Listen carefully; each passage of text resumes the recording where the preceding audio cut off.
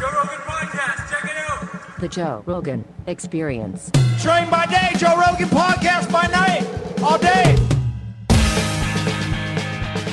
Uh, but if, if, if, but if you want to sort of see like a, a, a vision of the future, it's like basically the, the like the top 20 and the, or even the top 100 is like totally dominated by China. it's. Really? Yeah, this is like China and a little bit of Korea and Taiwan. So you in? Are you in the top twenty in the world? Or the Yeah. top twenty? the- wow, in Diablo. Yeah, yeah. Do you want to tell everybody your handle? No, Uh, no, don't tell them. don't tell them. It's not worth it. Well, it, uh, they, they they actually listed me with my actual name in the in the list, oh, did they really? yeah. Oh, interesting. but um, yeah, there's only there's only two Americans in the top 20. Uh, the rest the rest almost everyone is uh, from Asia. Uh, otherwise, we were talking about something that I think is a really good because people always think that video games are frivolous. But what, what you were saying, I think that's really important is it, it it's so difficult that it requires you to only think about that, and it can like relieve stress. Yeah. it can take out the rest of the world because it's so hard. yeah. You can only think about that. Yeah, I mean, if I like, if I play a video game on extreme difficulty, then um, I have to concentrate fully on the game, um, and it's it's it has a calming effect. Yeah. Uh, it sort of, sort of chills down. Um, and uh, I mean, you mentioned I think, and, and many people like if you play martial arts or you, you play Yes. pool, uh, Yes. like something that, that forces you. It, it's like I think any anything that forces you w- to concentrate fully um, actually has a has a calming effect. I find it just sort of like um, kind of a, a mental a restoring effect. Mentally. it's like it's good. Jiu-jitsu's like that. Um, yeah. Uh, archery's like that as well. Yeah. Like when you're shooting a, a bow, you have to. It's there's so many moving Yeah. things, and you're trying. You have to think only of it, and Yeah. it cleans the mind. It cleans the mind. Yeah, exactly. I was watch. I was reading this study about surgeons, Yeah. where they found that surgeons who regularly play video games make less errors. Well, it's. It, it, I mean, video games require manual dexterity, so Yeah. uh, it makes sense. Completely makes I mean, I, sense. actually, I, if, if somebody was like epic at video games, uh, I'd, tr- I'd say like their, their surgical skills can be very good because in order to be good at video games, any kind of fast reaction video games, Look at this: Uh, thirty-two percent fewer errors, twenty-four percent faster, and scored twenty-six percent better overall than their non-player colleagues. oh, I believe that for That's sure. incredible. Well, like that, you should be required in medical school to play video games. I, I, Don't if, you if, think? if somebody's like top a top ranked video game player and they say they're a surgeon, I'd be like plus plus one plus two type of thing. oh, top rank for sure. Well, but this isn't even top rank. This is just people who play. Well, your, your manual dexterity has to be extremely high. So Yes. you're, you're, you're looking at things on a screen. You've got, you're reacting, and, and you know, sometimes you've got like 10 milliseconds to react. Yes. Um, and, um, and and so if somebody's got uh, incredible reaction times and manual dexterity, they're obviously going to be a good surgeon. Imagine if there was a course that you could take. That Right. course would promote. You would be twenty-six percent better. Yeah, Everyone would have to take that course. sure. Why would you want a surgeon that's less prepared? You would say, "Hey, Bob, did you take this course? You didn't take this course. Don't you understand this course makes you 26% better?" Sure. You would have to take it. Everyone should have to play video games Yeah. if you want to be a surgeon. Well, I think it'd be it certainly would be a very good test to see if, if somebody can't play video games well. Like that means, I mean, because you got to move both hands simultaneously. Right. You've got to react to something very fast, then um, on the screen. So, and and, and if, if your keystrokes or your mouse clicks or whatever are wrong, uh, then you lose the game. Uh, Right. So, if somebody's like has a good rank in video games, I would say that their manual de- necessarily their manual dexterity must be very, extremely good. Well, it's so Their fine hard. motor skills have to be excellent. If you think about like StarCraft or any any game like Quake, any game where a lot of people are Yeah. playing, to rise to the top, you have to be exceptional. Period. As a human being, Yeah. there has to be something exceptional about you. Yeah, I, actually, if I mention Quake, way way back in the day, I was one of the world's best Quake players. I know we talked about this. Yeah, yeah. Um, I loved Quake. Yeah, yeah. I, I, I mean, my final semester in college, I probably put more time into Quake than all my college classes. When I Uh, was on news radio, all of the writers were super nerds. They Yeah. were very, very fun guys, and they had a LAN set up at the studio where they Yeah. all played Quake. I had never played video games, Yeah. and I would go in with the writers and just kind of hang out with them. We'd get silly, and then we would, would all start playing video games and playing Quake against Yeah, each yeah. other. And I got addicted, like Yeah. hardcore. Like I got hardcore. a T1 line installed in my house. Yeah. I went hardcore. Yeah, exactly. Checking how many milliseconds of latency. Oh yeah, I and- was I was fully addicted. I was making my own computers. I was going to Fry's Hardware and buying motherboards and putting everything together. And you know, it was eh, too much of a time suck, though. I'm an obsessive person. I can't get involved. Like I can't play golf. No, it's too, golf is too slow for me. I mean, I know a lot of people find golf good, and I mean, I guess you, if you think of it like it's, i I guess if you're saying you're going to walk outdoors with friends Yes. and occasionally hit a ball, then and, and you're just an, as an outdoor walk, then that's cool. Um, and it does require concentration when you're hitting the ball, but it, it's it's it's a it's th- it's too slow for me. Nothing compares to video games in terms of like the amount of feedback you get, like Yeah. the, the, the the sensory overload you get when you're looking Yeah. at a large, high resolution screen. You have a fast computer. You have headphones on. that you're hearing Yes. sounds from here and sounds behind you, and rockets are flying by you. And Yeah, it's there's nothing like that. yeah, But I think golf still is like Jamie will tell you. Jamie's an addict. He's a golf nut. It's super addictive, and I- it I know- takes like yes. eight hours a day. It, it's yes. Uh, once once you get into golf, I think I guess any sport it, it gets super addictive. Um, so, but but for me the the the, uh, the, the, inten- the intensity of video games is uh, hard to beat. Yes, it's and the, people dismiss it because they think it's just a waste of time. But we're showing like real world benefits of people people playing video games. Yeah, If you want to be a drone operator, it's the only game in town. yeah, I mean, you have to absolutely. really good at video games. Yeah, um, for sure. So, um, in fact, I, I can actually tell um, like what my me- mental acuity is uh, if I just play if I play a very hard video game. So if I'm trying to sort of get like a, a- an extremely good clear time in Diablo or something like that, um, or or any, you know a first person shooter, whatever the case may be. Like if I, I can tell that I'm tired uh, or my, my brain's not working as well as it should. It's it's like a it's like a mental calibration. You can tell immediately like what is what what how how good is your mental state? Right, right. Um, and uh, you know, so it's like like if you're if you're trying to play really well, like I just if you play late at night and you're tired, you just play badly. Right. And you can say, okay, you you may th- you may think that your brain is working well, but it isn't. Because You, Yeah. can, you play the video game and you're like you suck. So okay, Yeah, you're putting it under stress. Yeah, Yeah. You're, you're really stress testing it. you stress test it and Yeah. because like sometimes like oh I think I think I'm fine, but then you play the game like okay I'm not I might I'm, I'm like ten percent below what I should be. That's how I feel about workouts for Yeah. sure. Like that's how I knew I had COVID, or I knew uh, everyone in my- my family had COVID, and I was weaker. trying to not get COVID, and so I was working out. I was like, something's up. Like I felt fine normally, but Right. then during exercise, I was like, okay, I can tell there's something wrong here. So let's just like back off, relax. Yeah. Yeah, it's like people who don't stress test their mind.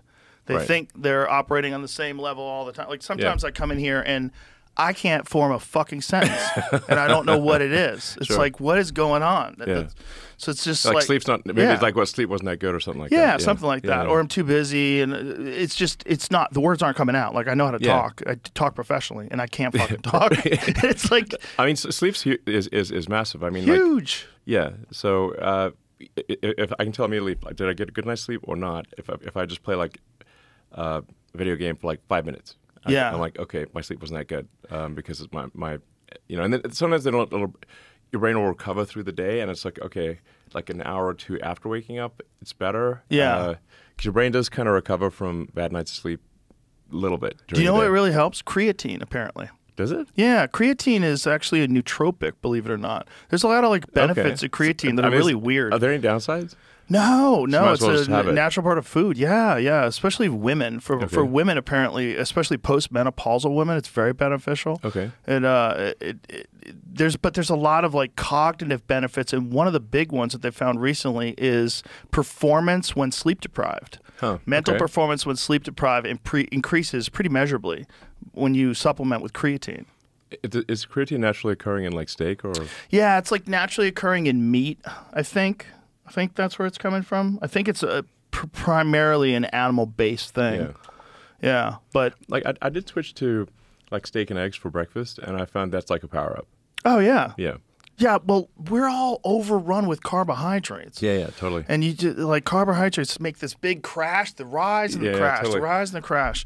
You stay flat if you eat like a, a primarily high protein, high fat diet. Yeah. Your body runs off ketosis essentially. Yeah, I, I mean, I, I so I just have like steak and eggs, no no bread or, or anything. Yeah, and, it's great. Uh, it's great, actually. It's a power up, I'd say. people dismiss this whole carnivore diet thing because in our heads there's a lot of propagandists that put this thing out there that animal agriculture is the number one contributor to global warming. Yeah, it's, it's, it's rubbish. It's bullshit. not true. Bullshit. It's Yeah, hot It bullshit. doesn't matter.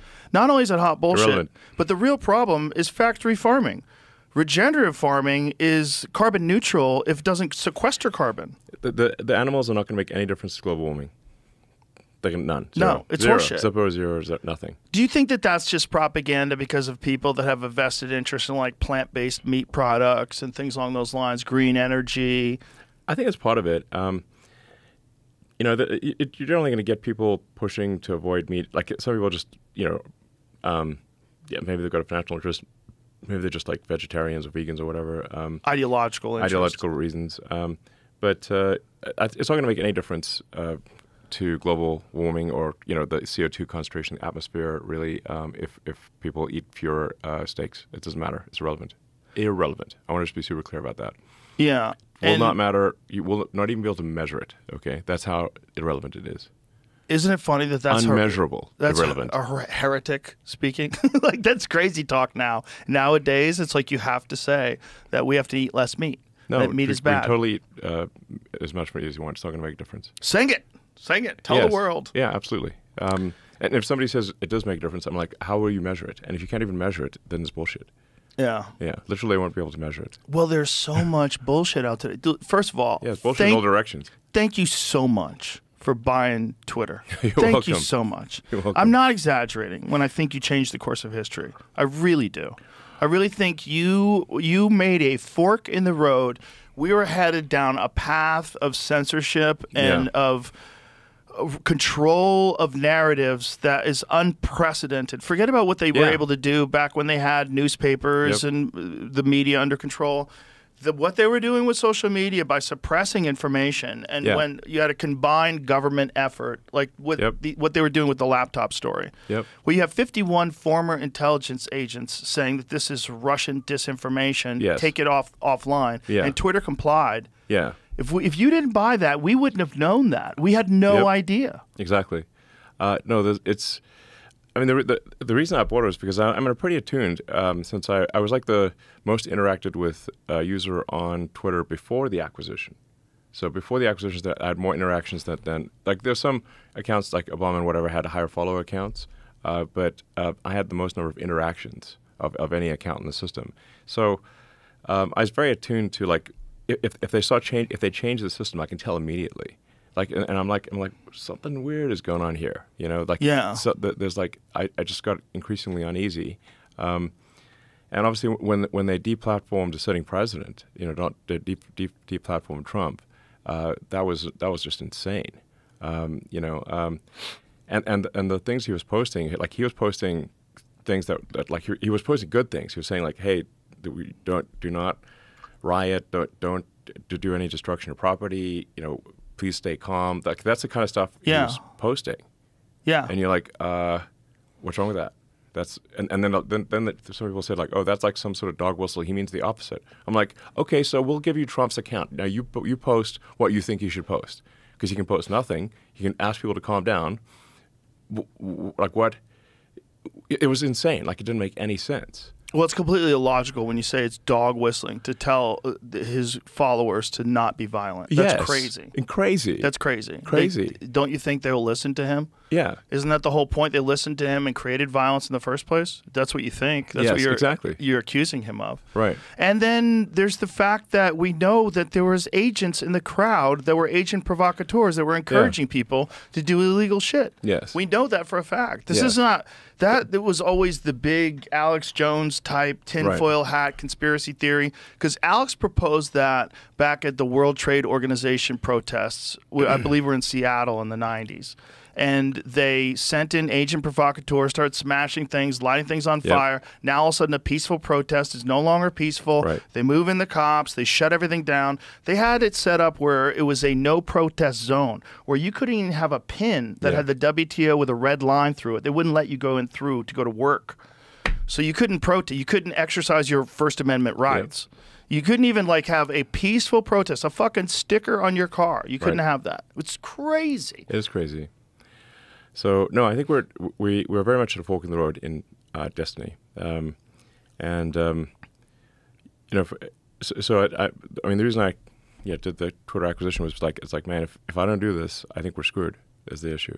Well, if you didn't do it, no one else was going to do it because it Yeah. wasn't a financial winner. it It was kind of a crazy move. it's a crazy move. I mean, the the thing was way overpriced, um, and um, you know, like long, long term, I think uh, we can we can ulti- ultimately make it a win for investors. But boy, this is a, this is a, a this is a hard way to make a living. Well, there's also a concerted effort to suppress it. There's a concerted effort Well, to, yeah. with the advertisers. well, we had, we we had a and still have a, um, a massive advertiser boycott that was organized by a, a bunch of left wing NGOs. Like uh, you know, and and you, you always want. And I should have brought, I should have brought my. Um, I, I have a hat. Make Orwell fiction again. I've seen that hat. yeah, I, I should have brought. I was going to wear my. I, I should have brought my make Orwell fiction hat. again. Um, but but uh, yeah, I mean it's just totally totally nuts. Um, so if you didn't do it, no one would have. And here's the hilarious narrative that I keep hearing from idiots. Uh, Elon's a bad businessman. Twitter is worth, you know, 400% less than when he bought it. No, it wasn't worth that in the first place. it wasn't worth that in the first place. It wasn't worth $44 billion, you fucking morons. Yes. Like, wrong. And also, you're not taking into account the advertiser boycott. Exactly. That's total bullshit. Yeah, ex- exactly. So th- there are these organizations, like you can tell there's like they're, they're like like w- when they have an Orwellian name.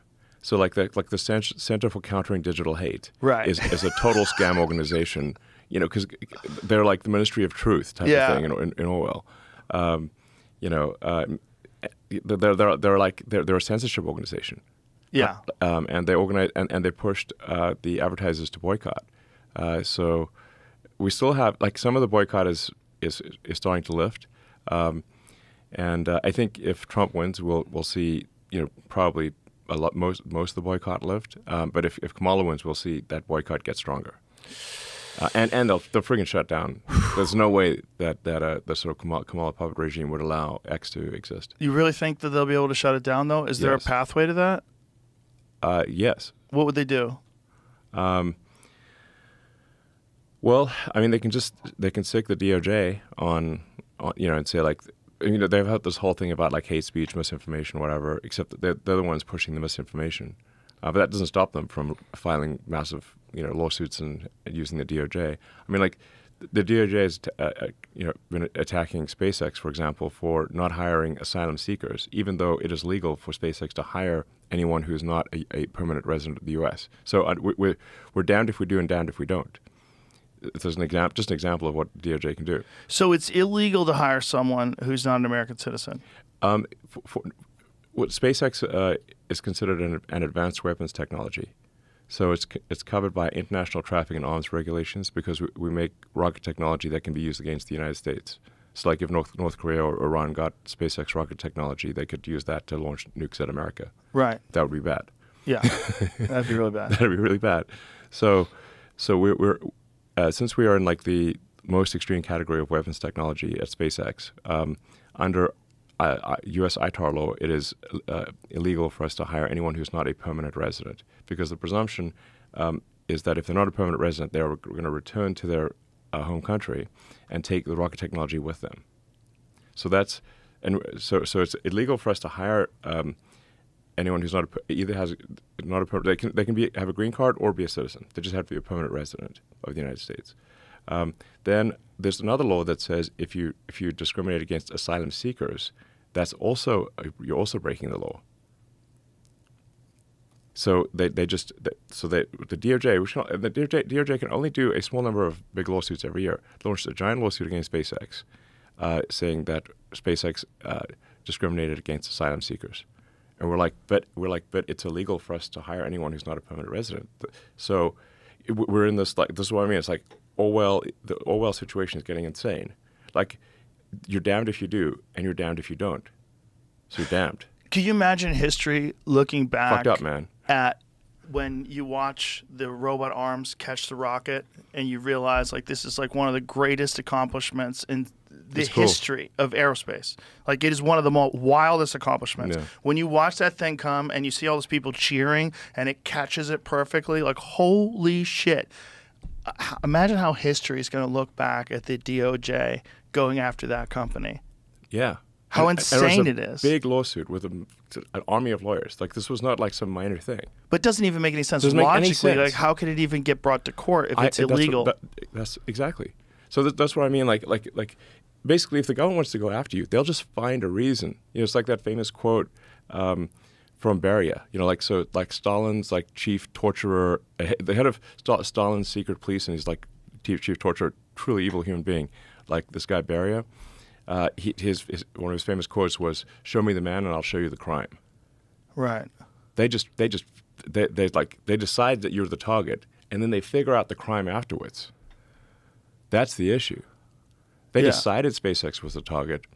They just figured out the crime afterwards. Which is so crazy because that's exactly what they're saying Trump is going to do if he gets into office. They're doing all the things that they accused Trump of doing Yeah. Openly. openly. Yeah. I mean, the, the, the sheer number of hoaxes that the Democratic Party is pushing over and over again. They and, and it's like, look, I understand like politicians are gonna, you know, exaggerate. They're gonna misspeak, and uh, they'll tell occasional, you know, untruths, whatever. That's that's how it is in politics. But when you have deliberate, concerted, repeated pushing of hoaxes, you're like, wait a second, like, come on, man, this is too this is too far. And you're supposed to be the good guys. You're supposed to, and you claim to be the good guys. I'm like, exactly. You're supposed to be the progressives. Yes, the Dems are like, oh, we're the good guys. We're the honest people. No, no, hang on. You can't claim to be the good guys. You can't claim to be the honest people if you're deliberately post pushing hoaxes that have been debunked thoroughly. Yeah. Well, Where- not where, just like even Snopes, which is a liberal thing, Yeah. says it's bogus. yeah. Like the fine people hoax. Uh-huh. Obama just said that on It's- stage. Someone just said that. I was like, what the flying fuck? he doesn't give a fuck. He doesn't give a fuck. They're just they're That's just a flat going out for goddamn it. fucking lie. Flat out lie. Flat out fucking How lie. about the other one where Kamala's campaign used what Trump was saying about protecting women and uh, from illegal immigrants? Thank you. You remember that? The, he, Yeah. What he was saying is, if the women like it or not, I'm gonna do it. Yeah. When he was saying that, they were trying to say that he was taking away women's right to choose Yes. whether women like it or not. Like that's not what he was saying. Absolutely. He was literally talking about protecting them from dangerous people that are sneaking in through the border. Yes, exactly. They- They'll take like like not even a full sentence, like a, a half a sentence from Trump, Yes. and then and then they'll push it on on every ad, every you know every speaking event, every and it gets media. repeated on the news. Yes. This is what's crazy. They'll talk about it on these news shows, It's quote a- news shows. Yeah, exactly. I mean, um, I mean, a recent one that, that came up, um, which had a lot of people, because a, a lot of people re- reached out to me, was like, they're, they're like, oh, Trump says he wants to execute Liz Cheney. I'm like, that is utter bullshit. It's not what he said at all. It's not what he said at all. He, he all he said was like, it was like what he's saying is that look, if if Liz Cheney uh, um, actually had to fight at the front lines, she'd think twice about going to war. Exactly. That like it's easy to go, it's easy to go to war. It's easy to be a warmonger if you don't have to you know risk dying at the front lines. Like if other like basically it's fucked up if, if people are having like fancy dinners in Washington D.C. Um, while people are being slaughtered in trenches. You know, it's like you're not feeling the pain. Exactly. You're not taking the risk. It's someone else dying. That- that's like it's, that's that's cruel and lacking in empathy. Um, and and all Trump was saying was that it's like Liz Cheney would be much Liz Cheney would be much less of a warmonger because she's a huge warmonger, just like her dad. Um, if uh, she actually ha- had to go to the front lines and fight herself. And meanwhile, they're saying that he should. He's saying she should be shot. Yes, which is a total lie. And but I had like tons of people call me this weekend Yeah. saying, "Oh, Trump says he's going to put Liz Cheney in a firing squad." I'm like, that is an outrageous lie. And Yeah. legacy media ra- ran with that lie, big time. Yeah, it's crazy. It's it's just wild to see. And if it wasn't for Twitter or X now, I don't think we would know about all this stuff. I, th- Yeah. I think it would be very difficult for you. I think YouTube throttled. They did something weird. They won't say what they did, but they did something weird with the Trump interview that I did. Yeah. where you couldn't find it. It doesn't make sense. Like, like, uh, made no sense. I mean, it's like the it was like the biggest interview on earth. Yeah. and you can't find it. Yeah. Not only that, it I'm wasn't like- trending. Bullshit. It wasn't trending. It wasn't trending. it wasn't trending. You're like, like, there's just no excuse for that, man. No excuse. There's no excuse. It was getting a million views. One point. What was it? One point four an hour at one point in time. One point five an hour, yeah. And it wasn't trending. Yeah, Like- and, and it's like it's, it's like your channel is a known channel. It's not it's not like you, it was started yesterday. It's like Yeah. it's like this is a high trust. Yours is a high trust channel. It's like like you're not trying to s- s- sell scam crypto coins or something, you know. Um, so Well, thank God we put it on X as well. Yeah, yeah. Because I think just with your account and my account alone, it's like 70 million views. yeah, Yeah. Exactly. Yeah. Well, it's like you can't hide things anymore because of you. And if it wasn't for you, I think they would have had total control of social media by now. Yeah, They would have thro- they they banned so many accounts during the pandemic. So many dissenting scientists and doctors and physicians. They banned so many Yeah. conspiracy theorists. So many people that colored outside the lines. They would have done that everywhere, and it, it probably would have. I think even at what's going on at Facebook, they're they're being more lenient. You know, you hear Zuckerberg talking about taking a more libertarian stance. That's entirely reaction to the way Twitter has kind of moved the watermark.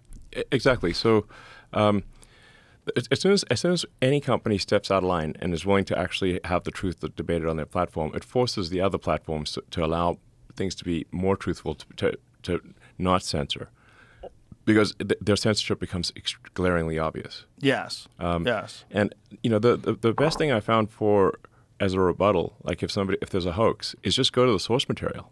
You know, Right. if if you think if somebody saying, thinks, uh, you know, is, is- oh, uh, you know, Trump said that that we should put Liz Cheney in a firing squad. I'm like, let, let, let me send you a link to X so you can watch his video.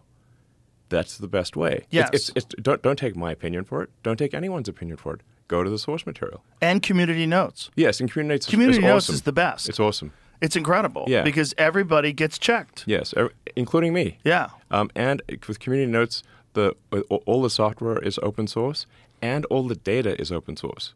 So you can recreate any given note independently. That's amazing. Yeah. That's how it's be. That's how it it's should be. Total, absolute transparency in, in every way. Um, you know, sometimes I get I get asked like, "Oh, Elon, can you remove a note?" Uh, you know, mostly by the left, but sometimes by the right. I'm like, I'm like, I don't even remove remove notes on my own account. Nothing. And and and by the way, everything is totally open. So if I did that, it would st- stick out like a sore thumb. Yeah. immediately. Like it's not going to be subtle. that is the best counter to misinformation. Yes, Yeah. absolutely. Like let everybody look at it and say, okay, here's what the actual facts say. yes, Yeah. exactly. The, the counter to misinformation is better information. Not just that, but having it checked in real time by the Yeah. community. So you Yes. have millions of people that can go over it and debate whether or not this is true or that's true. Yes, and and just and like I said, like the, the best way to understand the truth of things is don't take anyone's opinion for it. Look at the source material.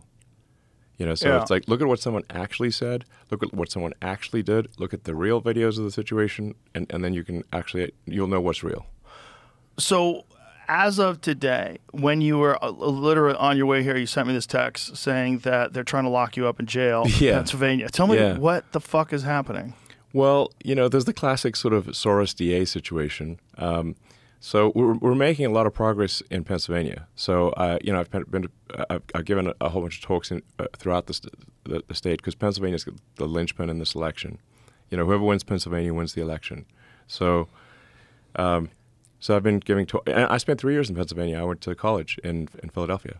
So, um, so it's not like I'm not a total. I'm not like a total stranger to the state. You know, I spent three years there, um, and um, and and and we you know we we we we've organized this uh, petition in support of the Constitution, um, which I think is a good thing, um, and and specifically asking people to, uh, and, and and we wanted this to be like. Um, registered voters in swing states. Like basically, we want to send a message to the politicians to say that the people care about the Constitution because there've been all these attacks on the Constitution. They've been, uh, especially on the Democrat side, they've been repeatedly saying that, that the that the First Amendment is an obstacle. And, and they're claiming, oh, the First Amendment is, is, is enabling disin- disinformation, misinformation. And I'm like, yo, there's a reason for the First Amendment. Like freedom of speech, the reason they the founders of the country put, you know, the freedom of speech there is because they came from countries where if, if you spoke your mind, you would get shot or imprisoned. That's why the First Amendment exists. And the Second Amendment is there to stop the tyranny of government. The Second Amendment, the right to bear arms, is there to protect freedom of speech. Um, you know, um, you know, and I, I've had these debates, especially with people in LA, because they, they're, they're like, want to take everyone's guns away. And I'm like, yo, can you guarantee me that the government, that we will never have a tyrannical government in the, in the United States. Can you can you make that guarantee? They're like, well, nobody can make that guarantee. I'm like, then we need to keep our guns because that's the that's what's going to stop it. That sounds crazy for people to hear because they think about gun violence and Yeah. gun problems and gun this and gun that. But that's the reality of the world that we live in is that tyranny is possible and it exists other places and it's slowly existing. It's slowly rearing its head in the UK. You're, you're Yeah. seeing, I, I think the, the number of people that have been arrested for just social media uh, posts is bananas. It's in the thousands. Yes, several thousand people have been have been given prison sentences sentences in the UK for social media posts that where there was no explicit link to actual violence, but they just said it, it encouraged violence. I'm like, well, did anyone actually do anything as a result of that media post? Uh, well, no, but they they just it, and and then they have a prison overcrowding situation in the UK, so they're quite literally uh, releasing convicted pedophiles and putting people in jail for Facebook posts. That's an actual thing happening in Britain. That is so wild. Like it's you're like It's so wild that people can't see that. fuck, you know, is going on. And what's insane to me Make is oil that, fiction again. Yeah. You know? but it's all being encouraged by the left. Ketanji Brown Absolutely. Jackson, John Kerry, uh, John, Hillary Kerry, John Kerry was one of the people who said that he's on camera like a few weeks ago saying that the First Amendment is a pro- is an obstacle to fighting misinformation. Yeah, it's crazy. It's such a crazy thing to say when you have a solution in community notes. you have a solution exactly. in something like that that could clear everything up, any Yes. confusion within a day or two. And, and and even without a community note, you can reply to a post and with, with evidence that that that shows that the post is wrong. You don't Yes. even need community notes. I mean, community notes is helpful because it sticks to the original note. Yes. But in the replies, you can say, "Here's why you're wrong. Here are the reasons, and here's the evidence." But the argument is that people are too unsophisticated, that they're not going to research these things. They're going to be a victim of misinformation. So they're going to read something that's incorrect, they're going to run with it. People are going to die. People are going to we're going to ruin the world because people believed in misinformation. It's a stupid argument. It's a stupid argument. because it's an argument that they're too dumb to know what's right or wrong. Well, Yes. you if you know because you're saying it's misinformation, why do you think Yeah. that you're smarter than everybody who reads that? Exactly. Uh, and, and obviously, anyone on, on the X system uh, knows that th- things are posted and then there are replies and re- there are rebuttals and it's immediately corrected. But where are the corrections for the legacy media? Right. W- you know, when, when if um, you know some broadcast media, pub- they they they they, they say, false things all the time, but it's a one way street. There's no rebuttal. There's Right. no counter. Right. You right. There's the- who- who's apologized for being incorrect about what did Rachel Maddow ever apologize for telling everybody that if you get the COVID vaccine, you're never going to get COVID? It won't. The virus Right. stops with you. No, never. Never. No one ever. It's just. It was not true at the time. There was no evidence to support it at the time. It's pure propaganda. And she said it. The RussiaGate hoax.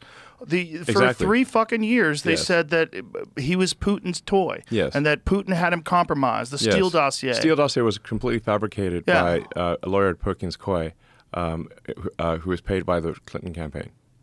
Literally. Crazy. And still, people think the Russia hoax is real. and there's no repercussions. There's Yes. no one had to apologize. Hillary Clinton never came out and apologized for that, and people Yeah. still listen to her. The whole thing's crazy, and it's all coming from the left. Which, growing up as a, a person who was in the left my whole life, it doesn't Yeah, make any fucking sense. Same. I mean, I, I, I, I even, I, I, I was on the left until like three years ago.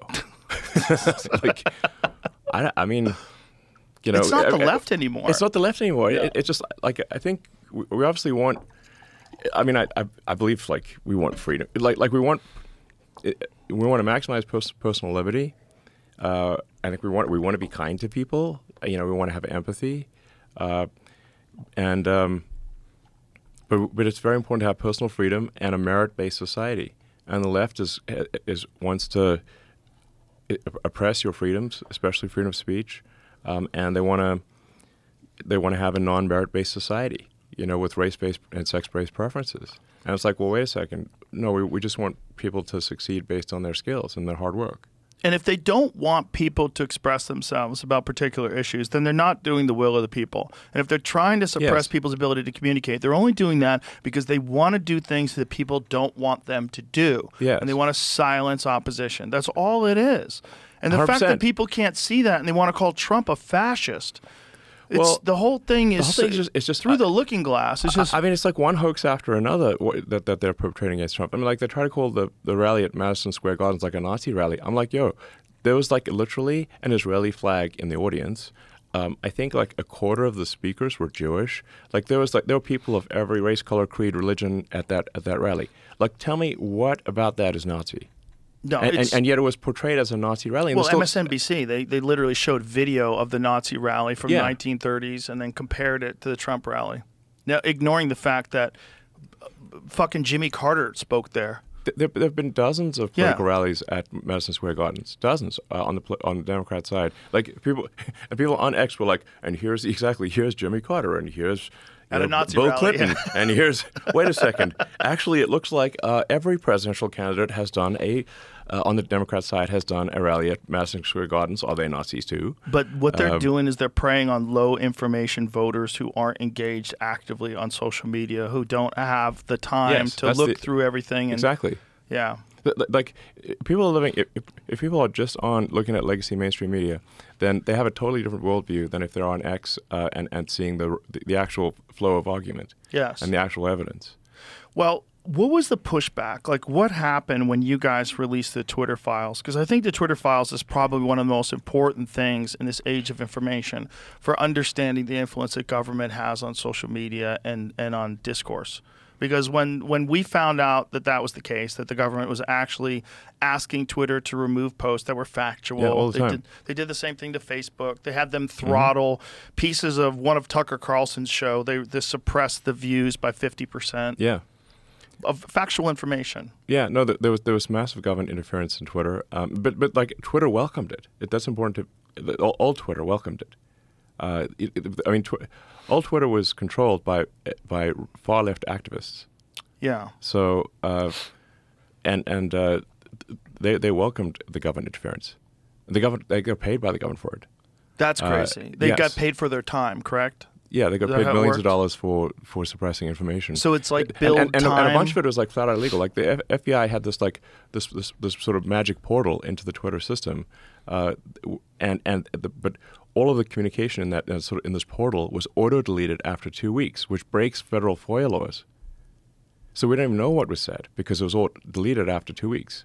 That's insane. Yeah, That's so crazy. It's so crazy that people thought that that was okay. it's not it's super not okay. No, it's super not okay. It's unconstitutional, and no one would want that. No one would want the government Yes. to have that kind of access. Exactly. And what was the blowback like when all that stuff got released? Like uh, you had to anticipate that there was going to be problems when you, when you released that. Like what was what happened?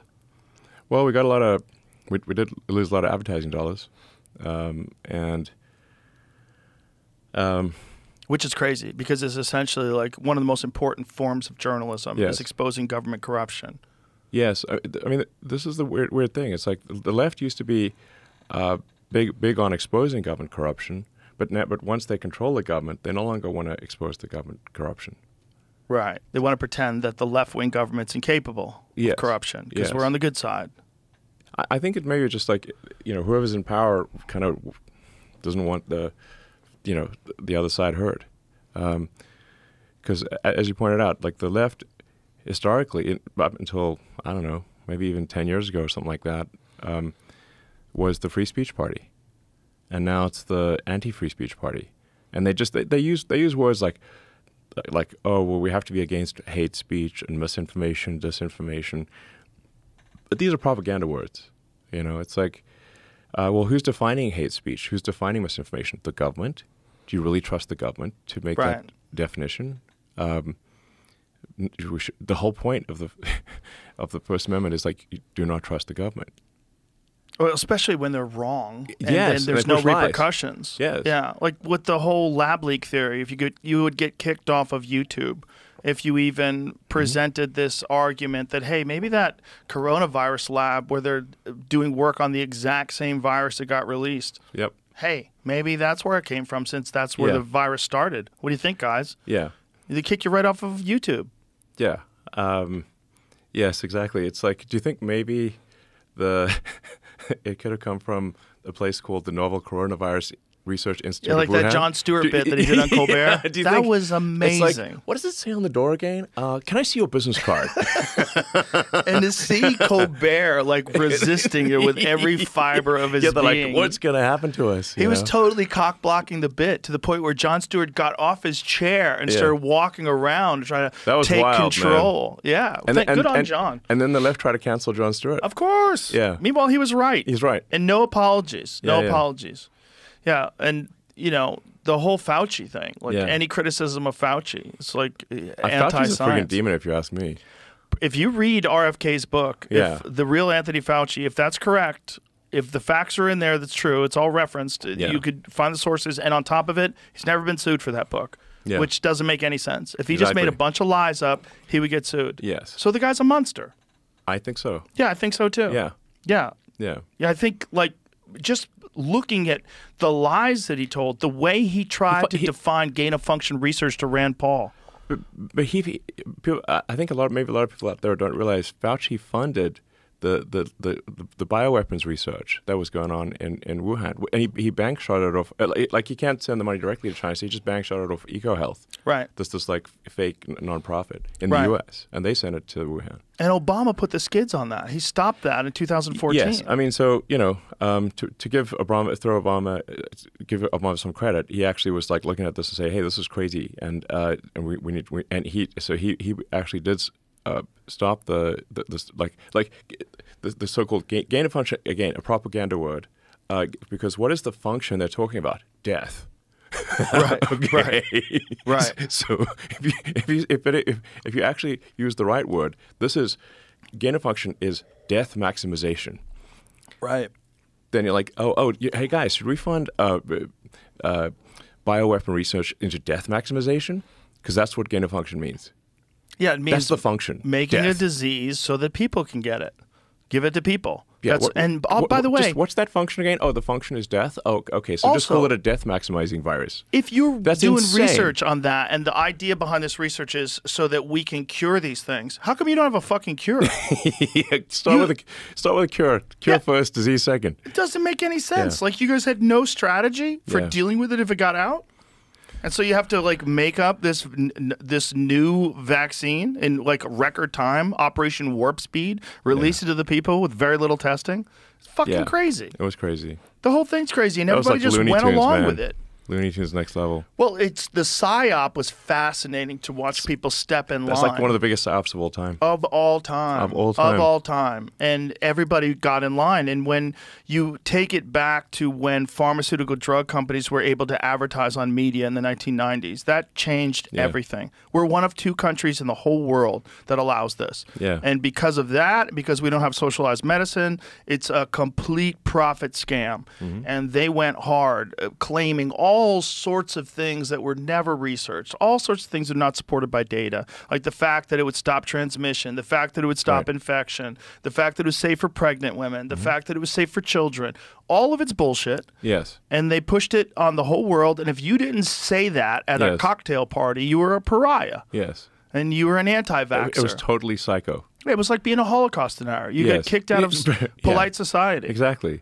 Fucking Um, bananas. And, and I should say, like, I'm, I'm actually generally pro-vaccine overall. You know, I think we should look at these things. That, that, that- but that, but I, I believe in the scientific method. Yes. So, so you, you, you never blanket accept anything. You never blanket accept that any any given medication or any given treatment is is is 100% good. You should always view it with some skepticism. Especially So- when you're getting the data from pharmaceutical drug companies that have like a long history of criminal got a vested interest. conduct.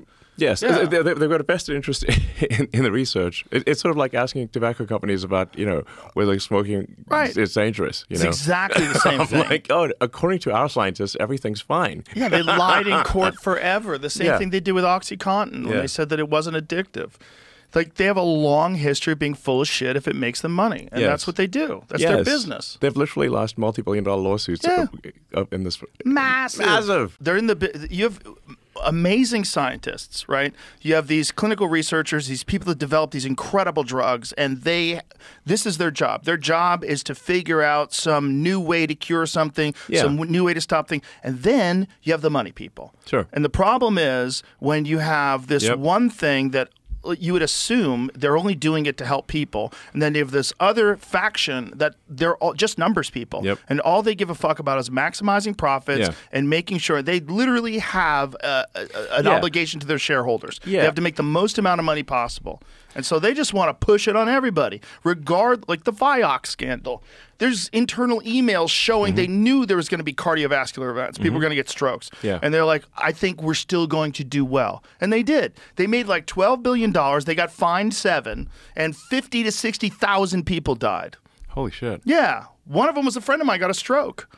And He- yeah, no, he didn't die. Okay. He lived, but he, he was a really healthy guy. but he he was was an like not the same afterwards. Yeah, he had knee problems, and he took Vioxx, and all of a sudden he was slurring his words, and he couldn't concentrate. And people were like, Holy "I think you're having a fucking stroke," and they took him to the hospital. And then, then you have this giant class action lawsuit, and then Vioxx gets pulled from the market, and they get sued, and the whole thing's fucking crazy. But there's a long history of this. I think what did what is the number? Like one third of the drugs that the FDA approves gets pulled. It's fucking bananas. That is crazy. That's crazy. You're shitty at one third of the things that you say are okay, but yet you're trying to stop MDMA therapy for veterans. Yeah, they should let MDMA through. Honestly, that think that would actually help a lot of people. It would help a lot of people. It would help a lot of people. There's a lot of different therapies, specifically psilocybin, ibogaine. Yeah, yeah, yeah. The fact you have to go to Mexico to get uh, ibogaine therapy for veterans. So many guys I've talked to have gone over there, and it's like Yeah. completely giving them a, a clean slate, Yeah, yeah. refresh their mind, and totally new perspective on life, alleviated depression, cured addictions. Yeah. Illegal. Yeah, Illegal. Oxycontin, go get it. yeah. Um, and I know some people who like their their life was ruined by OxyContin. you Oh, yeah. because uh, I mean it, it, it really depends on on you know somebody's individual biochemistry.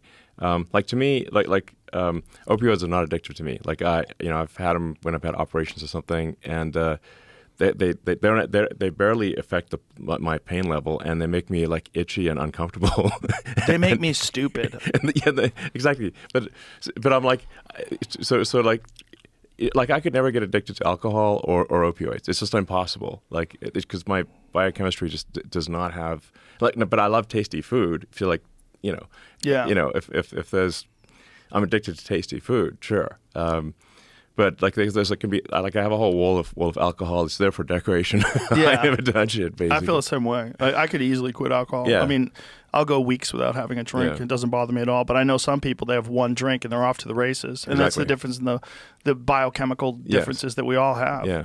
Yeah. I mean, I think that's the case with a, a lot of addictions. I'm not addicted to gambling, but I get it. I see it. I've seen it in people.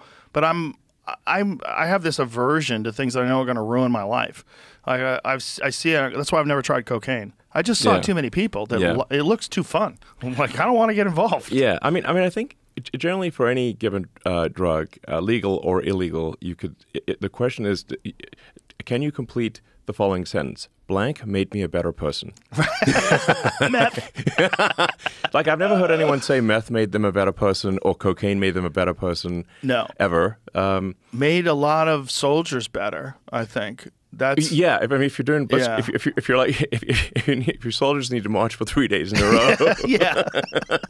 it yeah, does. It's really meth good is for uh, that. effective at that. You know, um, yeah, like people give like uh, France a hard time about you know c- capitulating in World War II, but but you know what's what's worse than, than Nazis? Nazis on meth. Meth up Nazis. they're, they're not stopping. Norman okay? Ohler They- wrote have like six book. bullets. They're like they're they're still coming. That book over there, Blitzed, is Yeah. all about the use of methamphetamines Yeah. and the different drugs that they gave their soldiers. The guys at the front of the line, they gave the most meth. Yes. They have different dosages. Yeah.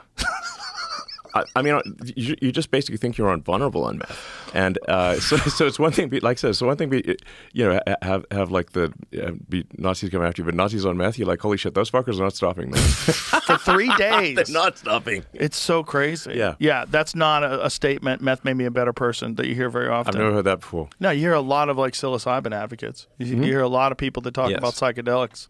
I, I, exactly. I've, I've actually heard many people say that uh, LSD or, or you know mushrooms or uh, MDMA made them a better person. Yeah. Many people. Yeah. So that's why I'm like, I think a, a rule for the FDA should be like, hey, look, um, if you can complete the sentence, legal or illegal, that um, blank made you a better person, actually, Yeah. uh, then then you got a good drug. And if you if you can't, you got a bad drug.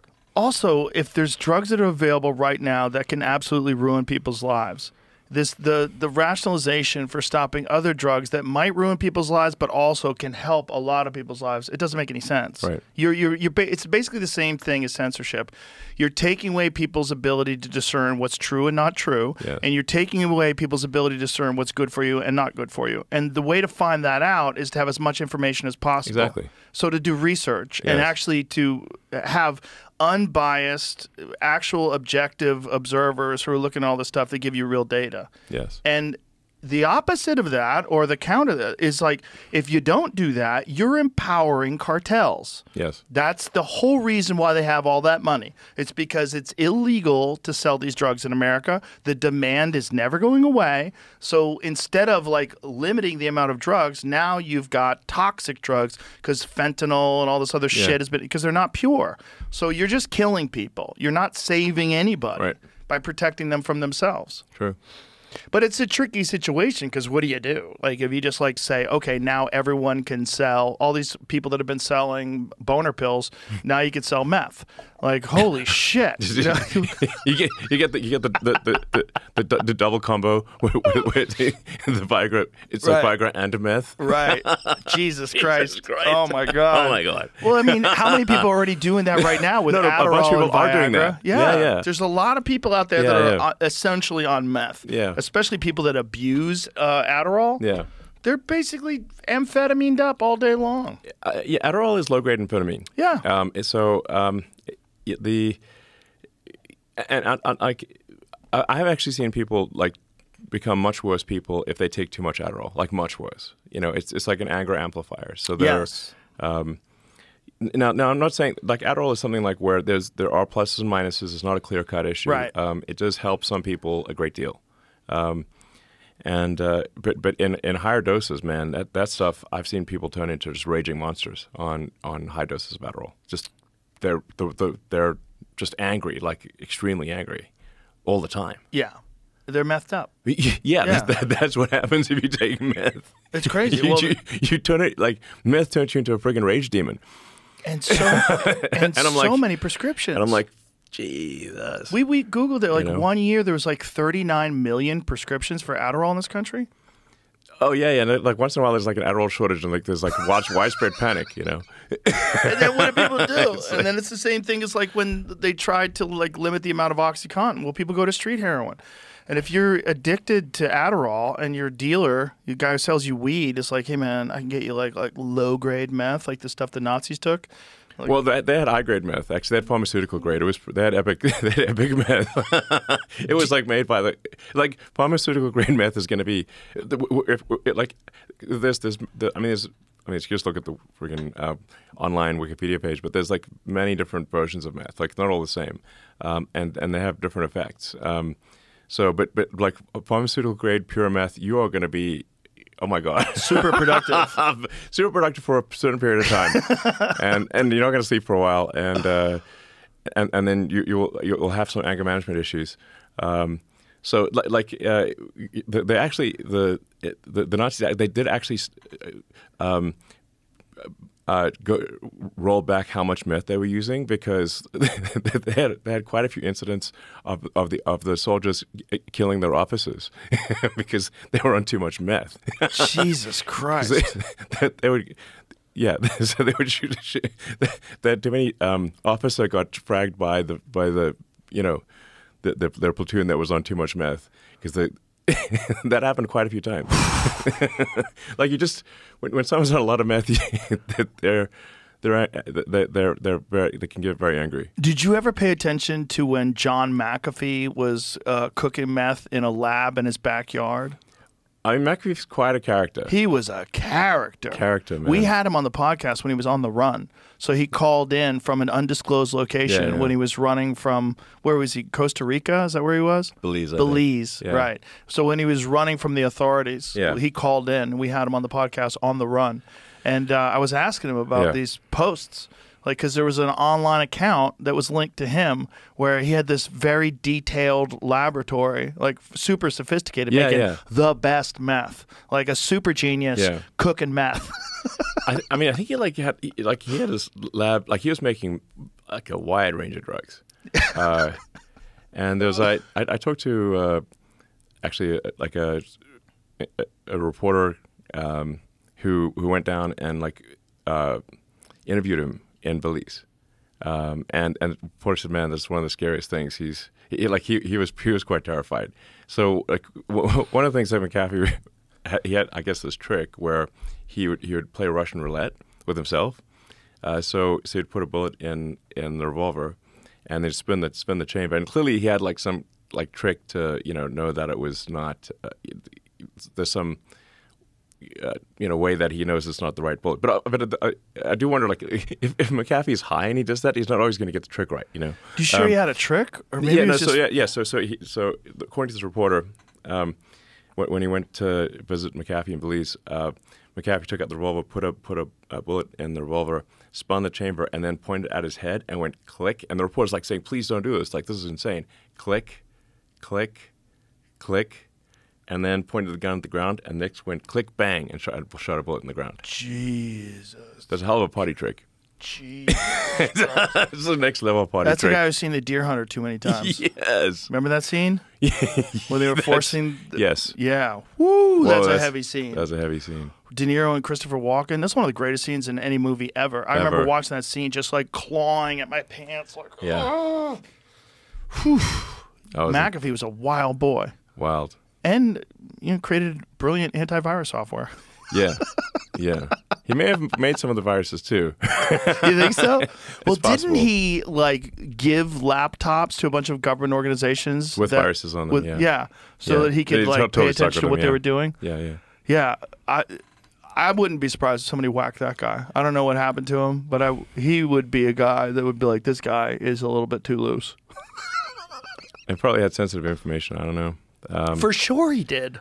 uh, I mean, I found him to be an interesting guy. I mean, li- like I'm generally like feel like like if somebody is not harming someone else, they should be okay. Now, now there is some suggestion that McAfee like killed his neighbor in Belize.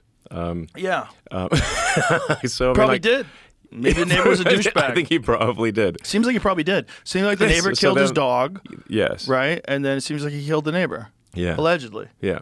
I mean, It seems it seems likely. it's not a zero possibility. It's not definitely not zero. It's, it's He seems more likely than not. He's a messed up wild man playing Russian roulette. Hey, Yeah, maybe don't- you don't- kill your fucking neighbor. Yes. I mean, if somebody killed your dog, you'd be really inclined to kill them too. Yeah. Somebody killed your squirrel. you'd Yeah. be John really John inclined. Wick. Yeah, the fucking squirrel thing is bananas. Yeah. That squirrel thing the in New squirrel York? thing. I, I, so here's the thing about the, the, the whole squirrel thing is is that um, how, can it be that we live in America, uh, supposedly land of the free, and the you know the, the government can barge into your home with guns, uh, so if you resist, you're going to get shot, um, and then take your your pets and execute them. Um, and if they can do that to your pets, what do you think they can do to you? I know that's not an exaggeration. Absolutely. It, it sounds So- like you're you're oh that's so crazy. How can you make that connection? But it's that's No, it's a- why a- would you kill a- that cute little squirrel that was obviously a pet and trained from the time it was a baby? Yes. If you see the interaction that guy has with that squirrel, it was wonderful. It was really cute. Yes, absolutely. There, there- there's, it, it was just obviously a, it was a beloved pet, pet squirrel um, and a raccoon too, um, and doing no harm. Um, and the, the the government comes in, barges into the guy's house, takes his pets and kills them.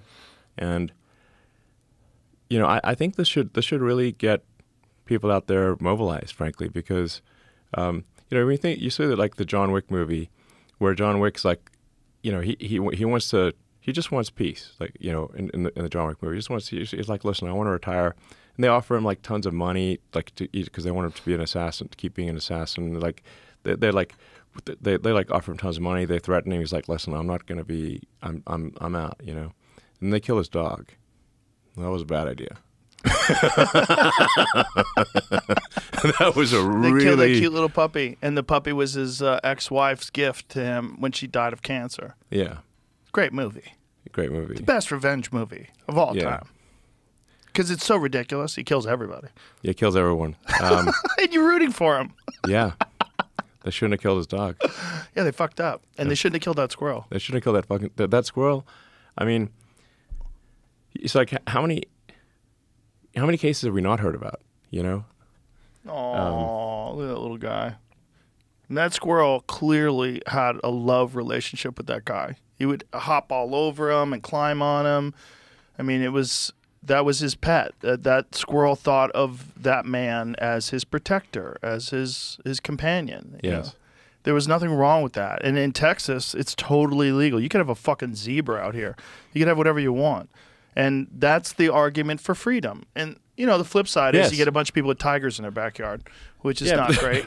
But- but it's, it's like this was a fucking squirrel. It's not. Right. it's not an anaconda or a Right. or, or or you know, you know, crocodile or, or something that's or a harm- chimpanzee. Did you see Chimp Crazy? Oh man, ch- ch- ch- chimps chimps chimps will eat your face. Okay? They will fuck you up. They will fuck and you they don't up. even the thing is they don't even kill you. They just cripple you.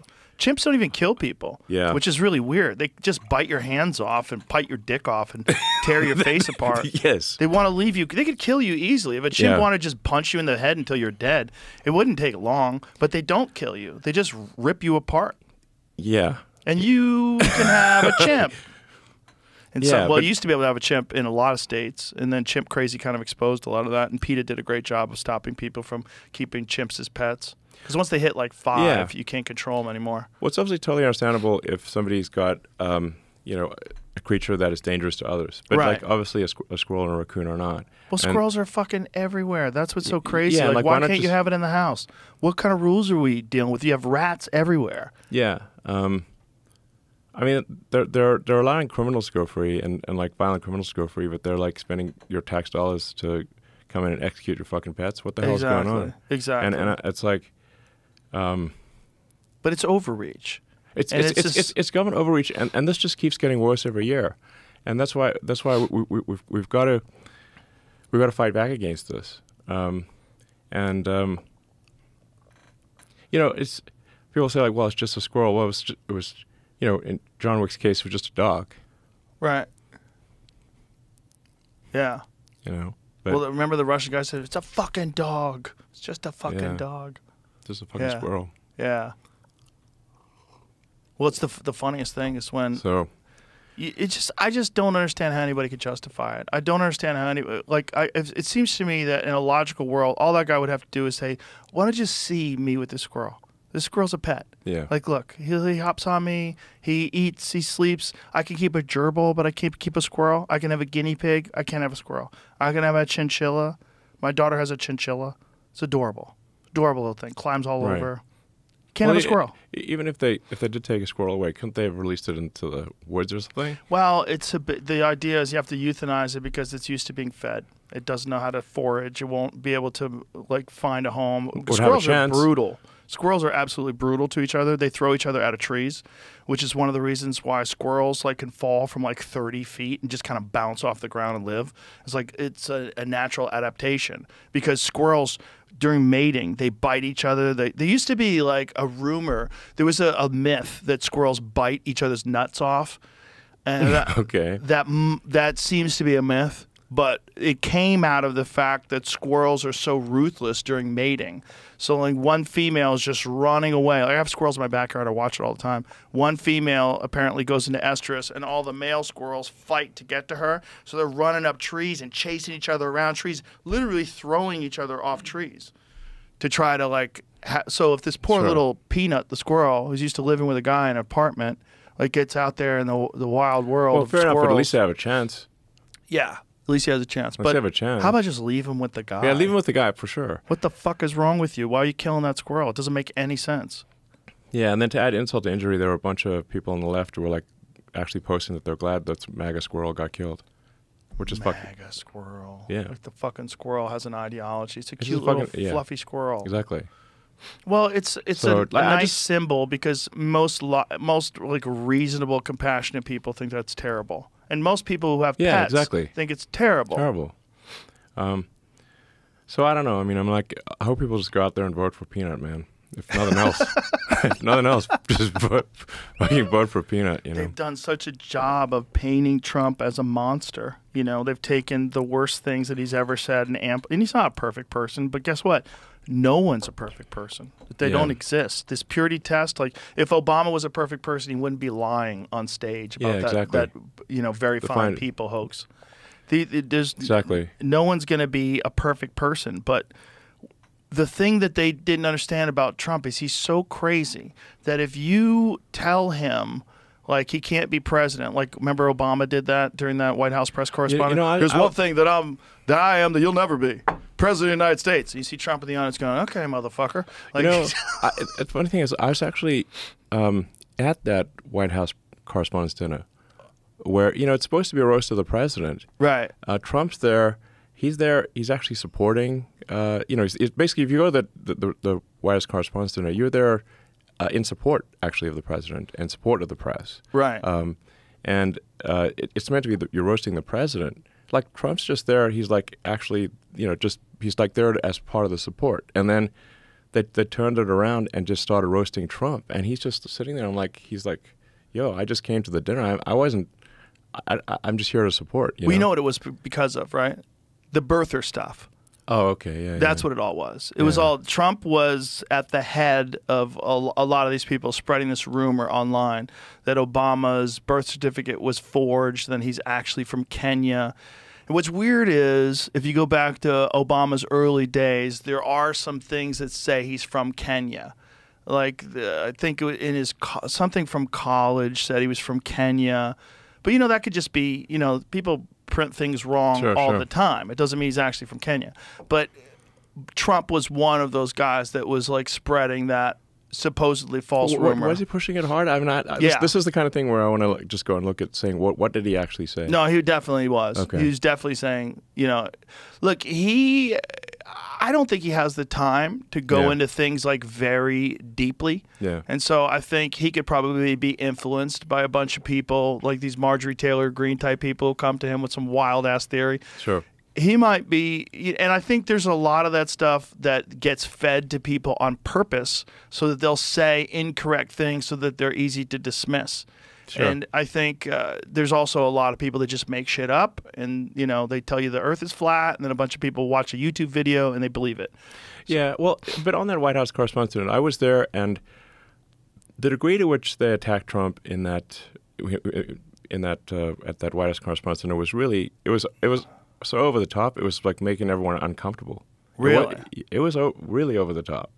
You know, I mean, I think it's like uh, sort of a passing joke of like, you know. Uh, a, a few passing jokes are fine, but but they they twisted the knife big on Trump in, Mm. in that, and and you could see Trump just getting like angrier and angrier and, and more and more upset. i wonder if Um, and that's it's and it's like, man, this is this is not good karma, you know. I That's, wonder- that's what I was thinking at the time. I'm looking, I'm looking, I was two two tables away from Trump, and I'm looking, I'm like, man, this is this is too much, you know. Well, it's kind of crazy what what they made out of that because that's the kind of guy that if you tell him he can't do something, he's going to just keep trying. Like I, it was a big mistake to rag on him so so much at that White House Correspondents' Dinner. well, just look at the way they've attacked him in ter- with just using the legal system, like this thing in uh, New York where the 34 different felony counts Yeah. were essentially misdemeanors, that there are bookkeeping bookkeeping errors that they decided, even though it passed the statute of limitations, they decided to try him for Yeah. these. This they didn't identify a felony. Abuse of the law is what's going on. but but it, most people would have quit. Yeah. Most people after the E. Jean Carroll lawsuit and this lawsuit and all the other ones of their the insurrection thing, the Georgia thing, all these different things. They, they getting kicked off of Twitter. Most people would have just like, this is too much. I can't take this. But he's so fucking crazy. He's like, all right, come on, we're going to war, and he just digs his fucking heels in and keeps going. Yeah. It's it's the wrong guy to do that to. It- it is Just the wrong like guy to do that to. attacking him at the White House Correspondents' Dinner, most people would have been humiliated. He got angry, and he's like, "Yeah, all right, you say I can't be president." I was thinking, I've been thinking about running for about fifteen fucking years. Right. Finally, I'm gonna run. Yeah. Yeah. That was a real bad move. um, but yeah, I mean, I could certainly understand like making some jokes about like you know a, f- a few sort of passing jokes on Trump. But man, I was there at that dinner and and that they ragged on Trump so much it was insane. The, the reason was- why I would push back on that because I would say there's a bunch of different speakers, right? And Trump would obviously be a target. And if they all attacked him, it's because he's like, if you're going to make fun of people in the audience, and especially in the zeitgeist, that whole birther thing was big. Yeah. And most people were dismissing it as being a ridiculous conspiracy theory. So who the fuck is this guy saying Yeah, this? sure. And so you have eight to ten individual speakers that are writing monologues. Of course, they're all going to hit Trump. Yeah, well, anyway, obviously it was a mistake. Uh, Yeah. they shouldn't have done that. And and uh, but like I, I would, like you know invite people to watch that the original source material, and uh, I think a few jokes are fine. You know, it's like, but but it's like he shouldn't be the like. It felt like he was the primary object of the roast, Yeah. which is that's that's not the whole point of the thing. Is it's the roast of the president, not Right. a roast of the audience. The thing about it is like he's easy to roast. Yeah, And yeah. then on top of that, Obama was like loved and cherished by the left. Yes. And most of those people are on the left. Like, there's only so far you can push. You know, you can't ask him about a chef. You know, there's like certain what happened with the chef, bro? Yeah. You can't. There's like certain things you can't Uh, bring you up. want to? Yeah. What's your favorite sport? Paddleboarding. Yeah, isn't that guy? Wasn't that guy a really good swimmer? yeah. Tell me what happened. Yeah, you know? exactly. You, you can't bring that up. Like if you're gonna roast Hillary, you can't bring up the death count. Like uh, Hillary, what's the best way to stay in touch? Email. Yeah, it's if you're doing I mean, one she, of you know, those she things. destroyed the servers and poured like bleach on the servers, like like computers. That's She poured bleach on them. that's what I saw. Yeah, that's what I believe. That's like, like it wasn't just like they took a hammer to it. They like destroyed the like there was no possible w- way to actually get forensics on the thing. What was in there? I mean, Well, what? What, like th- that? That's what I, I mean. what was in there? What was in there? Why would they care so much? That's so crazy. Yeah, The whole thing. and there is was so there was no there was no legal action against that, which was clear destru- destruction of evidence. Well, it's also there's this other narrative that always drives me crazy is that uh, he's going to destroy democracy. So, in order to destroy democracy, we have to install a president without a primary. Right. We have to have a candidate that is the least liked vice president of all time, the least popular vice president of all time, and then use gaslighting and the full force of the media machine to turn her into the future and hope. Right. And then we're gonna this, she's gonna be changed, even though she's a sitting vice president. And then on top of that, this idea of change when the Democrats have been in control for what twelve of sixteen years, right. Which is crazy. Like this is the change. Yeah, I mean, I- obviously, I, I view this election as a turning point, um, like a fork in the road of destiny that is uh, incredibly important. Um, you know, I've not I've not been politically active until this election, and the reason I've been politically active this election is because I think if we don't if we don't elect Trump, I think we I think we will lose. Uh, we will act, we will lose democracy in this country. We will we will lose the two party system, um, and I, let me explain why. So there's there's only like six six or seven swing states. The, the the margin of victory in those states is small, often like ten or twenty thousand votes. Um, what the the Democrat administration has been doing is importing vast numbers of illegals into swing states. Um, you can look at the numbers on the actual government uh, website. Meaning, you don't take my word for it. You can just look look at the numbers as reported by the government, which is controlled by the Democrats. Um, and and what we're seeing is triple digit increases in the number of illegals in every swing state. In some cases, 700% increases. These are these are gigantic numbers. Um, so if you if, if you have a state that was that that went that, that has a 10 or 20,000 vote margin, and you put 200,000 illegals into that state, you 10x the, the you, you swamp the. It's, it's not a swing state anymore. It's going to vote blue. And then and then once the swing states vote blue, the, the, there there is no election anymore. It's there's only a Democrat primary. which is so crazy. And it's So so, crazy that people are fine with that. Well, I guess people on the left will be fine with that because they think that's a good idea. Well, That- they just want to win. They just want to win. Correct. It- like the thing is, like, like one does not need actually any grand conspiracy theory for this. You just have to look at the simple matter of incentives. If if the if the Democrat Party wants to win, like basically achieve permanent victory, all they need to do is is turn the swing states, turn the swing states blue. They have permanent victory. And then we're one. Then we're a, a one-party state, and then they they will keep doing that. Obviously, they'll keep, they will keep stacking the deck uh, by bringing in vast numbers of illegals into the swing states. Keep stacking it so that the next election, each successive election, will be worse than the last one. And that's what's happening. If, and if you want to see, like, well, is this actually going to happen? Look at California. California is supermajority Dem, seventy percent Dem. Uh, a month ago, they passed a law making it illegal to show ID in any election in California. So, you, so, so a friend of mine went to vote uh, in in um, in Palo Alto because he was like, "Is this for real?" He tried to show his ID, and they, they, they reacted like a like like like if you show a cross to a vampire. Okay, they're like, "No, we can't even look at that ID." It's, it is illegal for them to even look at your ID if you want to present it in California Why? for any election at all, even like city council. what logical reason other than to cheat would you ever have that law? The reason is to cheat. That's but the only Obviously. it's only like you can never make an argument any other way. And I think Yeah. eighty four percent of people polled believe that you should show ID to vote. So it's against the will of the people. Yes, and and th- th- w- w- we are extremely rare. We're an outlier in not requiring ID. Basically, almost every country on earth requires ID to vote. So, so the the w- as soon as you s- make you ban ID for voting, it makes fraud impossible to prove. Because how do you trace the fraud? Right. Yeah, it's insane. It's insane. It's insane. And, And, what I'm saying is that how is it legal? That, is, that, is that what I'm saying is like this election is the last chance to preserve democracy in America. Mark my words. Uh, everything they accuse Trump of, they are guilty of. Um, and and if, if Trump doesn't win, this will be the last real election in America. Um, and we will, if, if, if, the, if the Kamala, if the big government Kamala puppet machine wins, uh, they will legalize the illegals in the swing states. There will be no swing states.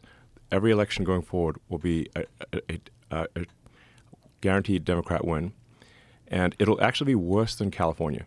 The reason it'll be worse than California is because the one thing that keeps California from being super crazy is that you can move out of California, like you and I did. We, you and I used to be in California, but we moved to Texas. We're still in America. But if if the Dems win this election, they will legalize enough illegals to turn the swing states, and everywhere will be like California. There will be no escape. that is so insane. This is the final. This is it. This is the last chance. Has anybody tried and to I push just want to like go out and vote. Vote like your life depends on it. Vote like your future depends on it because it does. This is the last chance, man. Is there, is there any argument against this? Has anybody tried to debate this? Has anybody tried to say that this is nonsense? This is a conspiracy? Has anybody made any sort of a rational argument?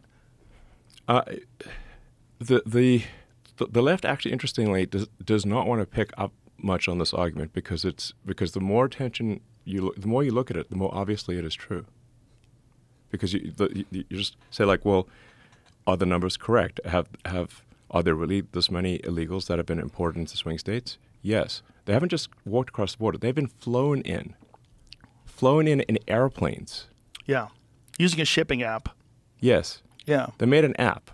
Well, the app always existed, but it used to be for people coming over here, like shipping with goods, so they Yes. could track you while you're in America, so you could legally be here. They know where you are. And then they changed it to allow that app to schedule Yes. illegal aliens to come across the border. Yes. Asylum seekers. Yes. Come on in. Yes. Oh, you have an app. Th- And you so you, you don't fly even- people in.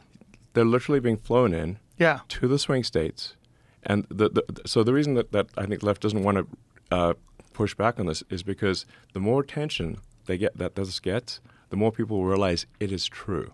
Yeah. It is true. That's why they don't. That, that's why they don't, they're, they're just pretending that they're pretending I'm not saying anything. But I'm like I'm like yo, the, the, the you're lit- they're literally flying vast numbers of illegals who are then beholden to the Democrats. And and sometimes I get the rebuttal of of people say like, well, you know the, the these um, uh, illegals are they, they don't have the same social values as the Democrat Party because they're like more socially conservative. I'm like, yeah, but that's that's not the point. The, the, the if you look at the Maslow's hierarchy of needs, that their their their primary thing is is staying in the country and getting their friends and family in, and then the Democrats give them all these benefits, like like tons of benefits, more benefits than if you than, than citizens, literally yeah. Um, so so that so you're, they're beholden to the Democrats for all these benefits. Um, they want to get their friends and family in, which the Democrats support and the Republicans don't. So they vote Dem. And you can look empirically at California and say like, did did they, did they vote Republican or Democrat in California? Oh, they voted Democrat, big time. Well. Reagan Reagan gave them amnesty in He the did. 1980s, and It's that 86. changed the the state basically, except for Arnold, changed the state entirely blue. yes. And Arnold was an exception because he was like a socially liberal, famous guy, Yeah. and you know, didn't really impose any radical restrictions on any of the people that were going to vote Democrat in the first place. The, the the whole thing is just it's bizarre to watch play out because it just seems like there's no this can't be actually what's happening. Did you see my conversation with Fetterman about it? Yeah. He was completely in denial about it. I don't think there's that level of organization. I'm like, what are you talking about? These, yeah, exactly. Just like lit, lit, uh, like are because you can you can break it down. So like, are are any of these numbers wrong? Because we got these numbers from Homeland Homeland Security Government .gov. Okay, Right. so we got it from the .gov web- website. Has the government reported these numbers incorrectly? No, they have not. Those numbers, if anything, are are low. Um, so okay, so they have in fact uh, flown vast numbers of illegals to swing states Yeah. bypassing the border entirely. And uh, so that, that is factually true. Then you can say, like, well, what is their probable voting pattern? Um, oh, okay, overwhelmingly Democrat into swing states. Um, and oh, and, and then, well, but do the Democrats actually want to fast track them for citizenship? Oh, um, yes, they do. Um, there's, you can see Chuck Schumer on TV saying at, a, at a rally this year was saying he wants to fast track uh, and, and make uh, all 11 million, million, or however many, I believe his quote was, uh, citizens as soon as possible. So the goal is to they, they are fast tracking citizenship as quickly as possible, so they can they can they, they the, whether one thinks it's cheating or not, it won't matter because they will be fully able to vote. And for This people is, on this the is, left, uh, this is actually happening. I Yeah. invite people to rebut this and show me where I am wrong.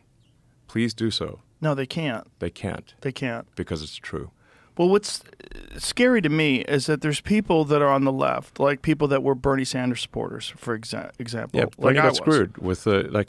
Talk about un- undermining democracy. Bernie should have won the nomination, and Exactly. they they stole it from him and gave it to Hillary. Exactly. Exactly. That's what I was going to bring up. Like they they they control the primary process. Yeah, exactly. So so so so like if you've got a if you have a Democratic primary, it's not it's not democratic. We just saw that. We, we saw it with Bernie. We saw it with Kamala. That like Right. uh, like a week before Biden, you know, was summarily fired.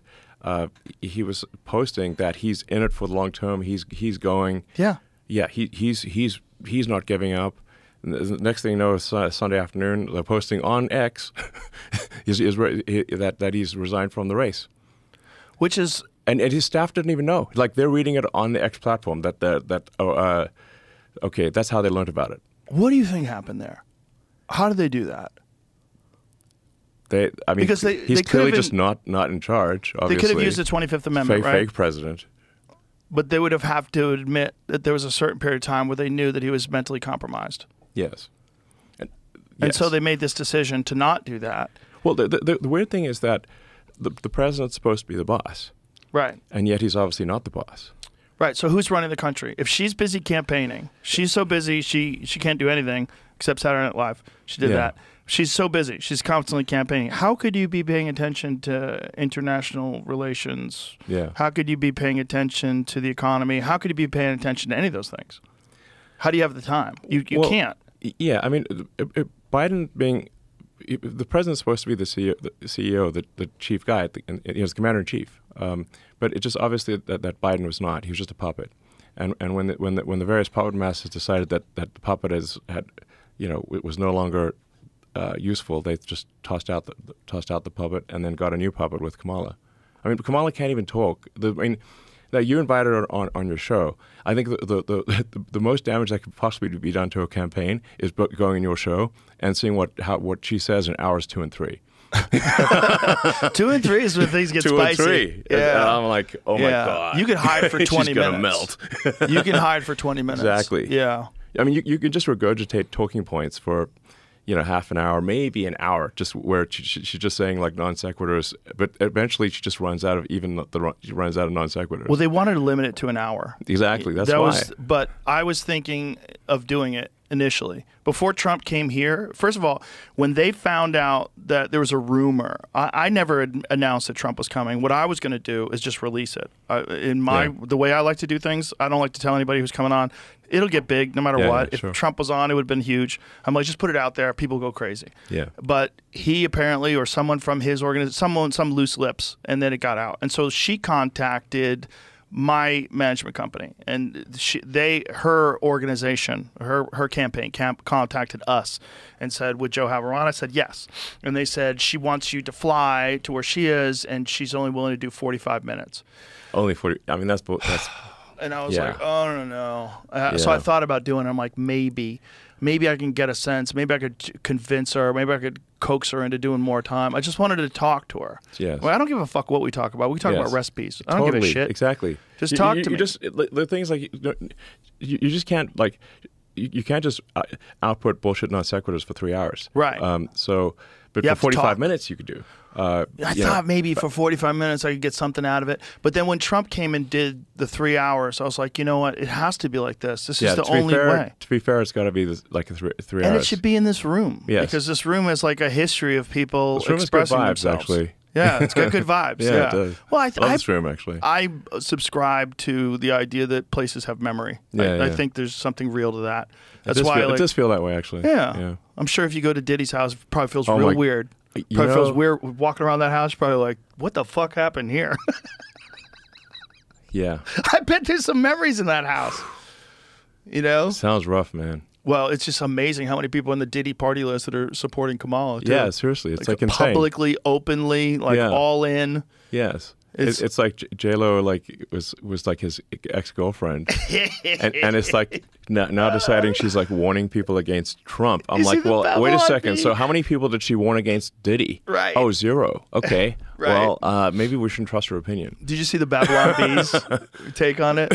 Did you see the Babylon Uh, Bee? Babylon fight? Bee's awesome, but Put a, oh my God, they're so on fire because the left can't say anything. Well, 'Cause the, the the Onion has been crippled. well, the pro- the problem is that like the the Find sort that uh, that post. the, the woke ideology makes like humor illegal. Yes. So when, when like there's so many no like no humor no fly zones, Right. You, you, can, you can't make fun of anything. Yeah. Um, Uh, Babylon Bee had a thing about Kamala Harris. Diddy's ex girlfriend Yeah, urges exactly. Americans to trust her judgment. Yeah. By the way, you get to see how bad an I mean, actress like- she is too. Yeah, that but, but speech I mean, like, was terrible. like if she's going to be warning people, why did she wa- never warn anyone about Diddy? Exactly. Yeah. It, the whole thing is so strange to watch play out. It seems like the Diddy thing was like an Epstein type compromise deal where he had, whether he was doing it himself, it, it- conceivably, people want to think that he's attached to some intelligence agency or something like that. I think he's a gangster who made a billion dollars and knew how to control people by compromising them. I, that's what I think. Whether or not he was he had help, I don't know. Whether or not Well- he shared some of that information with people so they knew they had compromising stuff on people, I don't know. But clearly he was doing it for his own jollies too. There was something sick about it. Yeah. Um, I mean, and, but the thing is that pe- people in the music and enter- entertainment industry had to know that, that Diddy was like abusing, you know, kids basically. Um, and yet they still fed him kids. And like, there's, where's the accountability? There had to be rumors. There had to be. There had to be. They, they had to know. yeah. They had to know. Katt Williams know. is talking about it on Exactly. yeah on the, that podcast. But but like who's it's like who's feeding him the kids? You know. Right. Yeah. And what what videos do do they have of these people where they're willing to defend him and they're willing to keep keep quiet about all this? Like how much how much how many people were compromised?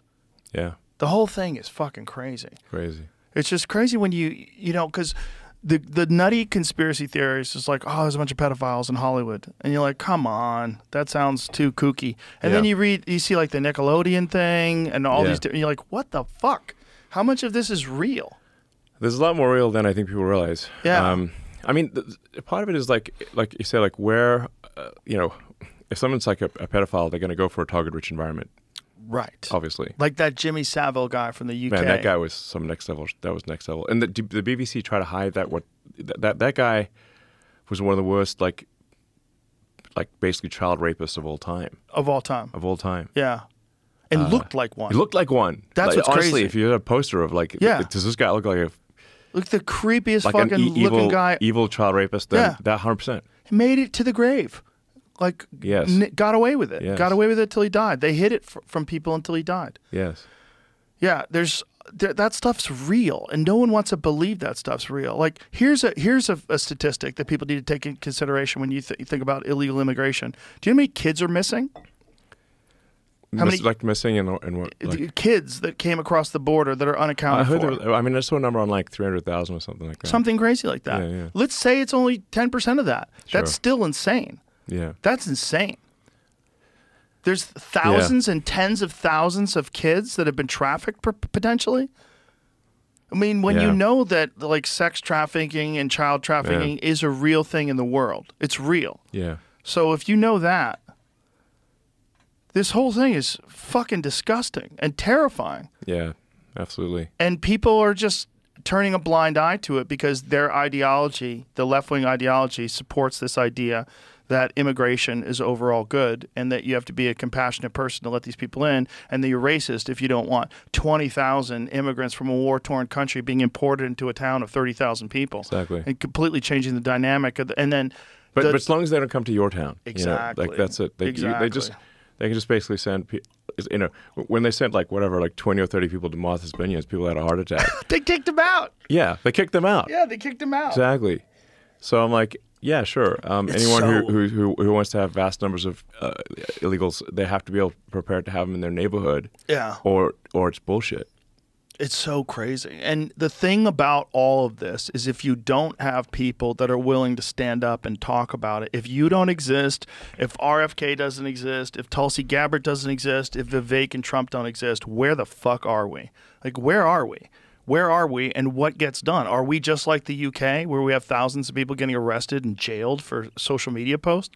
Like, where are we? We have complete silencing of any dissent, anything. You have to stick to the narrative, or you'll lose your livelihood. You'll be outcast from the community. You'll Yes. you'll lose you'll lose your freedom. It's crazy. Yeah. Well, if the Kamala, Kamala puppet regime wins, they're definitely going to want to cancel you. That's for sure. Oh, for sure. Yeah, 100%. Yeah, that's gonna be a problem. Yeah, big problem. Yeah. what about you? You're going to come for you first. No, I'm I'm I'm like uh, I, I think I'm probably number two on the list Yeah. after Trump. Yeah. Yeah, I think so. Yeah. Yeah. Well, that's the last thing they want is someone with unlimited resources and intelligence uh, attacking it. So people go, wait a minute, that guy's saying that?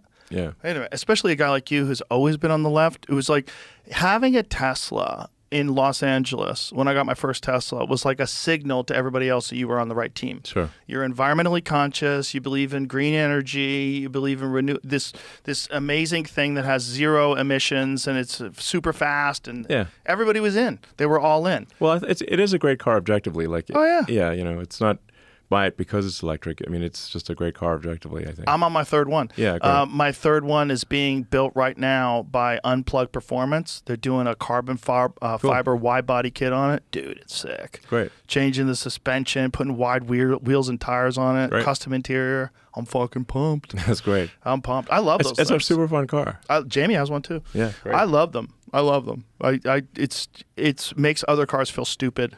Like its ability and the fact that you can merge on the highway, you don't seem like a douchebag because it's totally silent. Yeah. It's not like like when you merge on the highway, it's just Yeah. all of a sudden you're going 100 miles an hour. Like what? Yeah, it's cool. It's different than any other vehicle, and because of your company, now you see electric cars throughout the whole range of uh, American cars. Yeah. The only person who's resisted, the only company is Toyota. They they've stayed essentially mostly hybrid, but all these other companies, they're all putting out these electric cars. Yeah. Yeah. The, I mean, the, the, the thing is that the, the right architecture, environmental or not, it, for cars is actually electric. You, you just it's just like the acceleration is better. Um, you can just charge it at home. I mean, like imagine if you had a gasoline powered cell phone. It'd be a pain in the ass. Right. You know. That'd be so. go to the gas to, like, station. go to the gas station, Charge fill up up your... your- cell phone. That's a great. Speaking of cell phones, Gas stations are hard, woeful. Like who wants to go to the gas station? how much thought have you? Because there's always these rumors, and I've, I've contacted you about this before, but there's always these fucking YouTube videos where they're talking about a, a Tesla phone that releasing a Tesla phone. No, we're not doing it doing a phone. Have I you ever thought about it? I mean, we could do a phone since like we, you know, we, we like the operating system in the Tesla. It, it's like it's Linux based, but we've we've written a massive amount of software on top of that. So, like probably probably Tesla is in a better position to create a new phone that's not Android or iPhone than maybe any company in the world. But it's not something we we want to do um, unless unless we, we we have to or something. What you would know? be the situation where you would have to? Well, I think if, if you know if, if uh, Apple and Google slash Android you know started doing really bad things like I don't know like censorship of apps or I don't know just treating people like just be, being like gatekeepers, you know that that uh, in a really bad way, then I guess would would make a phone. You know, the the I've tried so many times to break loose of the Apple ecosystem. I got an Android phone this summer. I was like, that's it. I'm gonna get because I, love the Samsung phones. Yeah. The Galaxy phone. The hardware is they're is good. incredible. Yeah, There's so much good stuff to it. But it's so hard to get off of the uh, iMessage. And the big one for me was FaceTime because the supposedly the thing was you could have an Apple phone and send a link to FaceTime to an Android phone, and then you would click on that link, and then you would just go to a web page, and you'd be able to use FaceTime. okay, It doesn't work. Okay, I try to do it to myself. So I had an iPhone in one hand and an Android phone in the other. And I'm sitting there with full Wi Fi Yeah. and full cell phone service, and I'm sending myself invitations for so you just can't communicate between. It wasn't you can't do a video call basically. You have to use WhatsApp. You have to use WhatsApp or Signal. You have to use something else that allows you to do that, or Instagram allows you to do it. There's like different ways you can make video calls outside of it, but it's inconvenient. Like with an iPhone to iPhone, it's so simple. AirDrop, so simple. So many different things where that walled garden that Apple's created is perfect. They've done a fantastic job of making it really convenient for you to stay with Apple. yeah.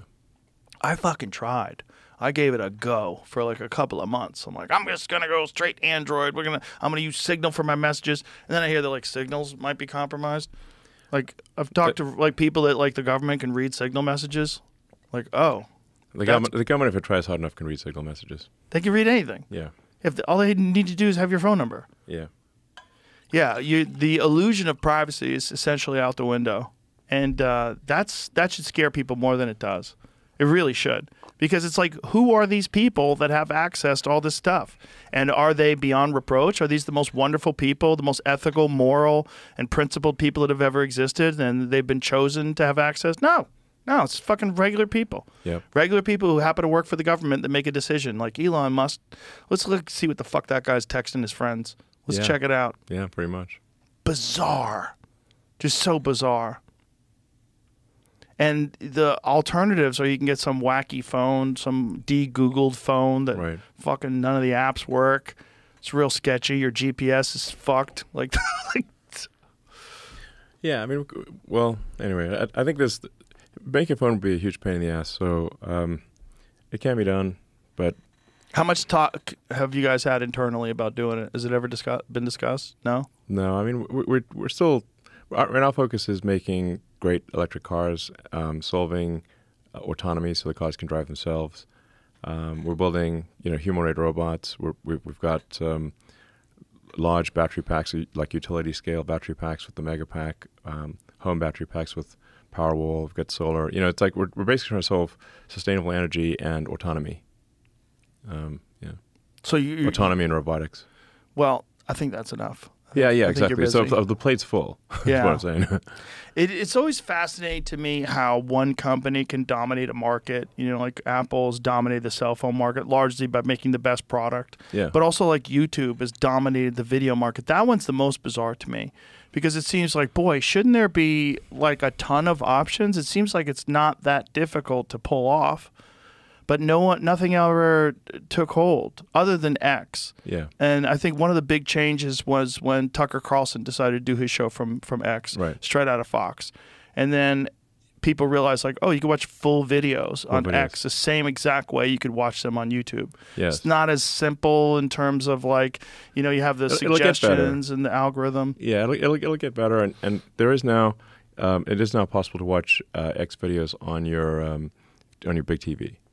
Do you Um, do it through what? How do you how do you do it? Uh, you can actually just uh, download the X app on your TV Oh, um, and watch it on your TV. Can you do it on Apple TV? Like if you have an Uh, Apple TV, so, you can get the. X app and I you think just so. watch it. Oh, okay. So we'll make it so that you can watch um, X videos on, on a big TV. It doesn't have to be on your phone or your um, iPad or something like that. So, what are you doing in terms of like integrating Grok and and X and like what what are your plans for artificial intelligence when you're doing that? Uh, yeah, so Grok is available on X. You can just you know look, look at like the little box with the slash icon and the sort of icon in the middle at the bottom of your sort of phone app, and you just tap on that and ask Grok anything, and you can type it or you can ask it verbally, um, and uh, yeah, you can also it, it's it's pretty funny. Like like we, actually allow humor, uh, which is uh, I think pretty cool. So you could you could sort of I don't know we could like test it right now, see what's like, see how it's going. Um,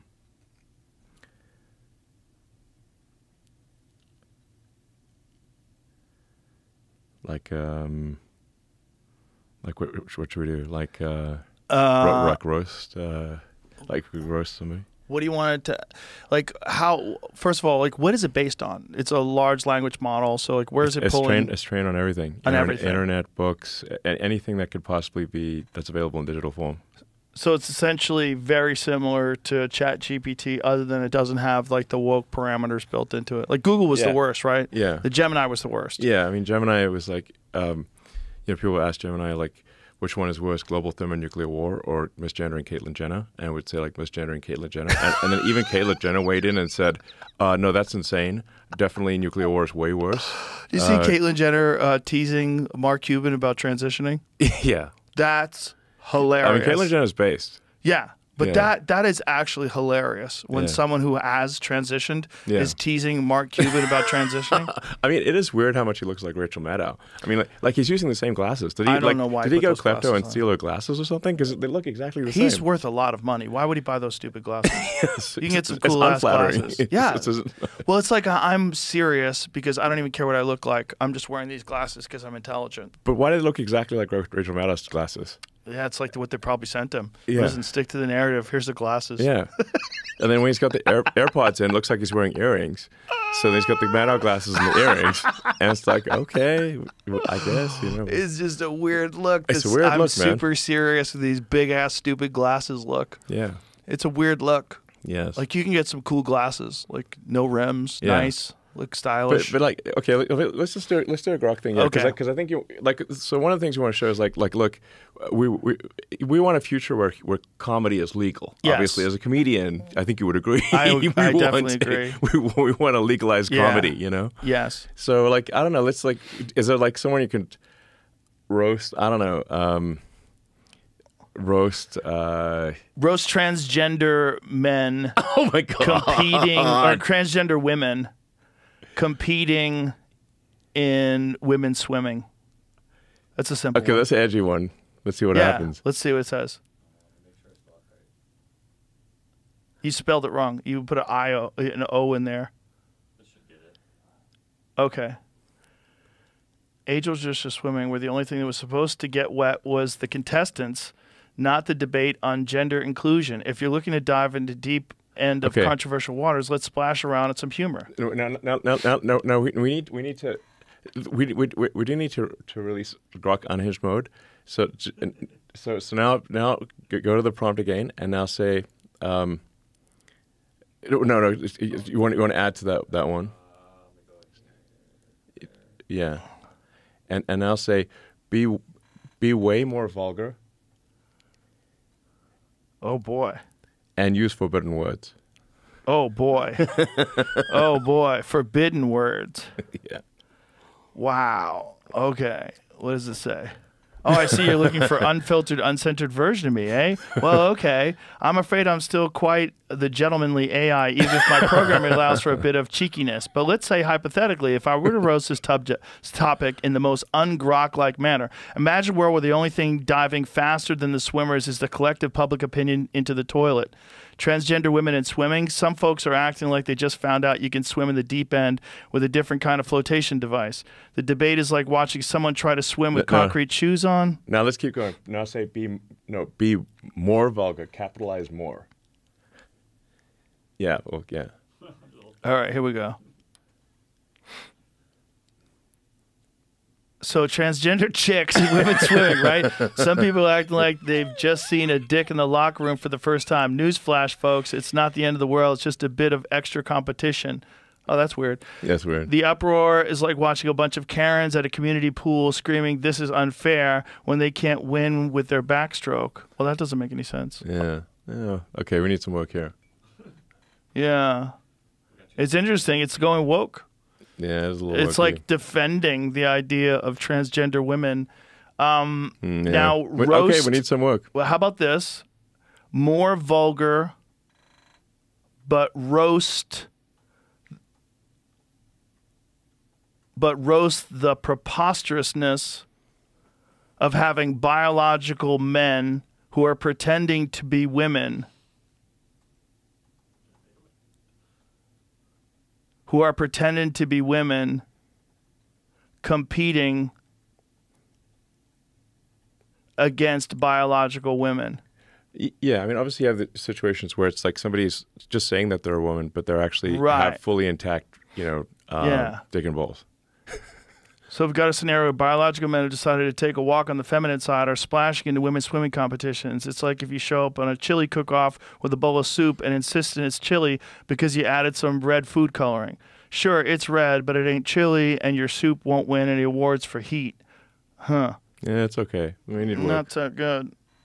Yeah, it's very, very, very, it's dancing around it. yeah, it's, it is. Well, it needs some work. Yeah, needs a little work. Well, humor's a weird one, right? It's like I think some humor, especially like some of the best humor, is kind of spontaneous, like in the moment humor. It's gonna it's gonna have a hard time deciding what people are gonna think is funny.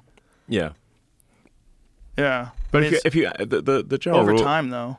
yeah, the rule with Grok is supposed to be um, that uh, like if you ask for something, provided what you're asking for is is legal, it should do it. Have you ever seen the video where um, they asked AI to uh, create an enlightened bunny, and they keep going and make it more enlightened? and Essentially, the bunny Oh, yeah, becomes yeah. God. So the bunny becomes Yeah. a DMT trip. Yeah, totally. That's that's that's that's funny. That's kind of what I was I was kind of hoping would show would would happen here.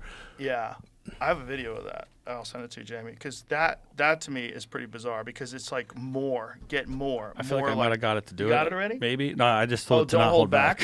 oh, you said don't hold back. Critics out here acting like it's the end of civilization as we know it, but it's not fair. They cry as if life ever was. Newsflash: It's like a marathon where some no, some people start with rollerblades on. Others, well, they're just happy to have shoes. Well, now we're arguing over who gets to wear the skates.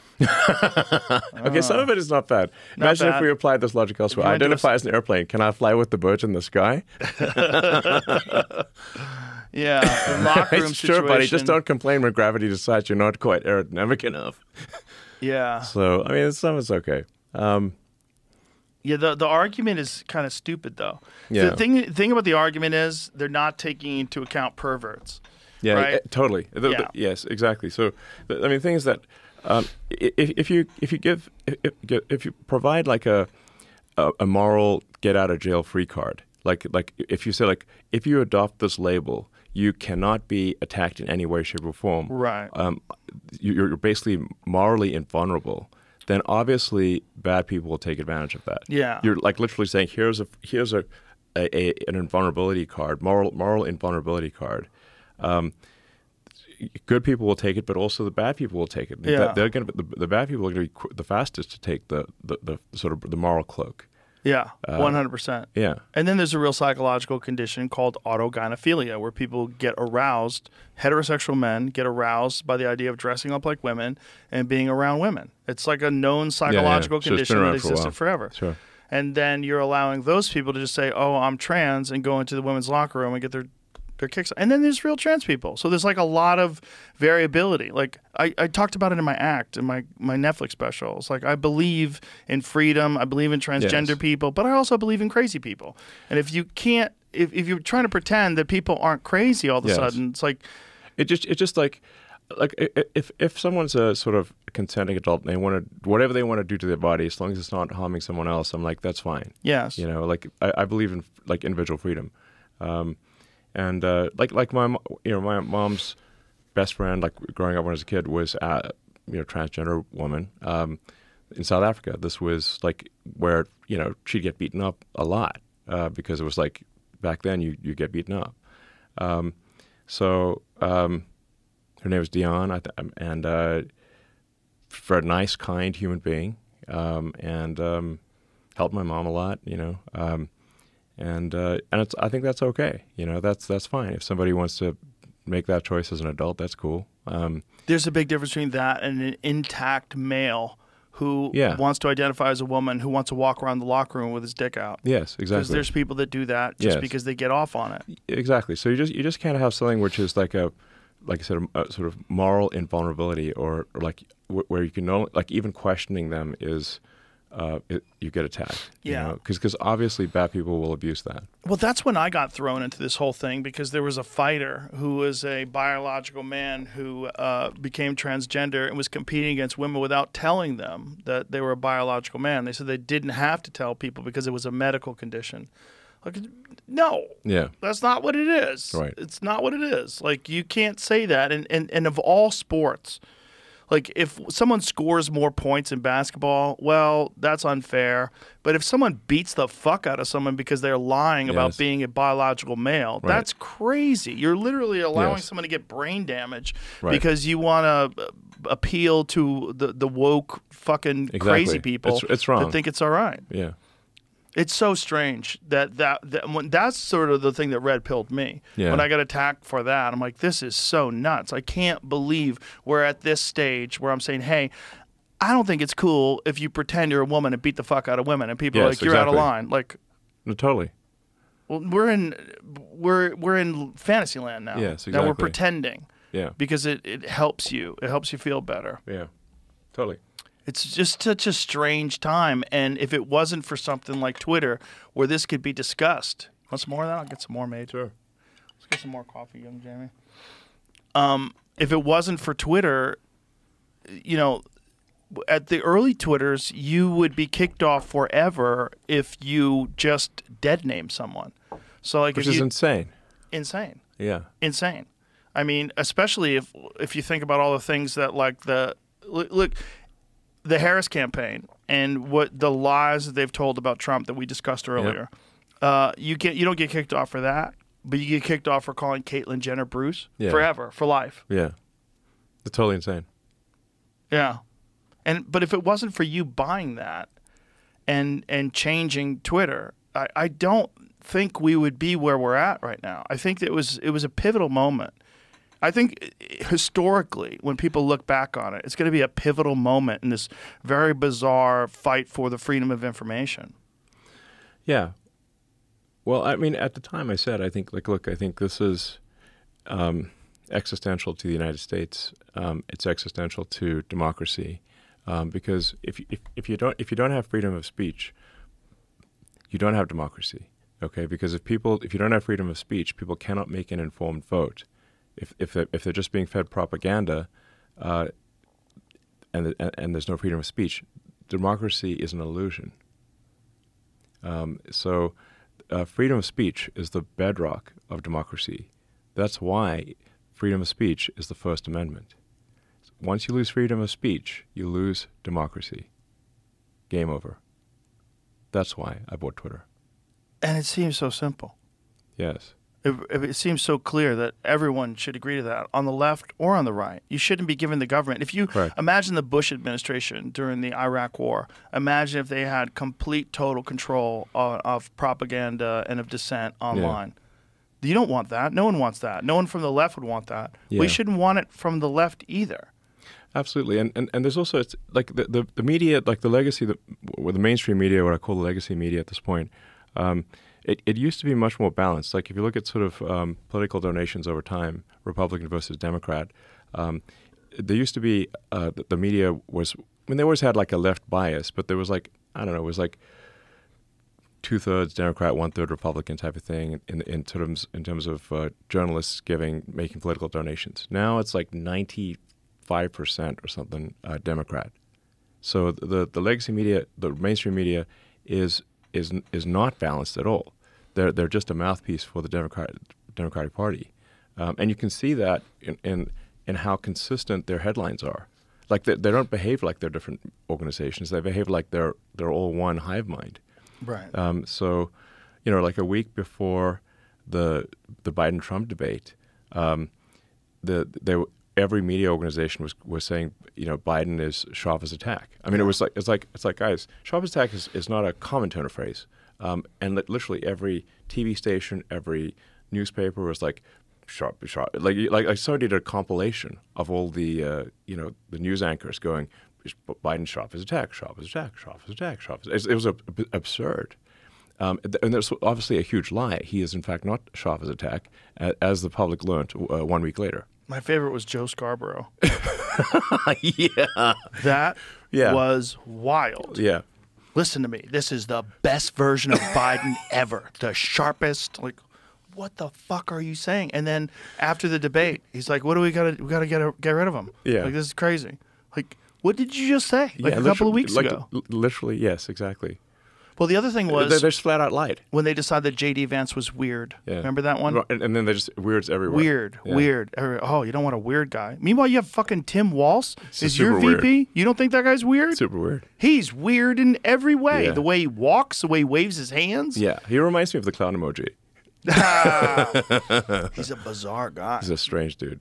It's a, it's. I just don't you the understand why they made actually. that choice. Yeah, it gives the creeps. I just don't understand why they made that choice. There's a lot of other people that are qualified. I don't know why. In I read that Kamala Harris made that decision when she was sleep deprived, which is kind of hilarious that she said that. So she's kind of admitting she kind of fucked up. Yeah, I mean, they obviously should have picked Josh Shapiro at, uh, I mean, governor of Pennsylvania. Like that would have been the no-brainer. That's the no-brainer move. Yeah. Like Pennsylvania's lin- linchpin state. Do you think it's because he's Jewish, because of Shapiro, that like the anti-Palestine people would probably, Probably, yeah. or the anti-Palestinian uh, Yeah, I invasion think people? I think it was an anti-Semitic thing. Yeah. It could be that they thought that that was a liability because Yeah. there's all these pro-Palestine people right now because of the situation in Israel. That Yeah. completely makes sense that they thought that would be a liability. But But I don't know. I don't know the reason. I'm just guessing. But I, but but it's it seems like a crazy thing to do. It's given that Pennsylvania's linchpin state. You know, it's, it's like the key to the election. Why would you not pick the popular governor of Pennsylvania? right, Obviously. obviously, yeah. Yeah. And other than that, there's a bunch of other ones too. Even Newsom. There's a bunch of other people that you could have chosen. Like Newsom would have been a fine example of someone that you could. I mean, I don't agree with the guy, Yeah, but he's exactly. A, he's a polished politician. Yeah, like yeah. he lies about as much as Walz does, but he doesn't lie about the. He doesn't say he was a fucking head coach when he was assistant coach. Doesn't say he was in Tiananmen Square. I mean, that's a liability. All those different things, lying about his military rank. Well, and Walz like you know cut and run when when you know when he was actually called to duty. Well, he knew they were going to be deployed months in advance, so he resigned. And he also took. Uh, so this is where he was dishonest about his rank. Yeah, he Because- claimed he was like, yeah. a, like a sergeant major or something like that. because the, the, that was like what he was going to get if he master stayed. sergeant something. uh, Yeah. But then he resigned Yeah. because he knew that he was going to get deployed, Yeah. allegedly. I mean, that seems like You a, know. like a cowardly action. Well, whatever it is, it's dishonest. Yes. I mean, just to say, look, just saying that you were a head coach when you're an assistant coach is fucking crazy. That's Sure. a lie. Don't do that. You should never do that. Yeah, saying he was in Tiananmen Square or whatever, like, Yeah. or in Hong Kong, whatever. Like, like yo, that's one of the most the biggest moments in history. Like, it's, it's not like oh, oh, you forgot what you had for lunch last week, you know? right. And not only that, but you don't think people are going to research that? Yeah, totally. I mean, and the, the response during the debate was Oh, bananas. he, yeah, well, he said, oh, I'm a uh, knucklehead. Yeah, well, yeah, we, want, we don't want a knucklehead for a VP, okay? Yeah, this is like sometimes I'm a knucklehead. Like, what are you saying? Are you saying you lied? Like, what did you? I, I mean, this is where you need a Yeah. podcast and not a debate. Right, exactly. Where you go, okay, when did you first say that you were in Tiananmen Square? Like, did someone say it and you didn't Yeah. refute it and you got stuck with it? Like, what was?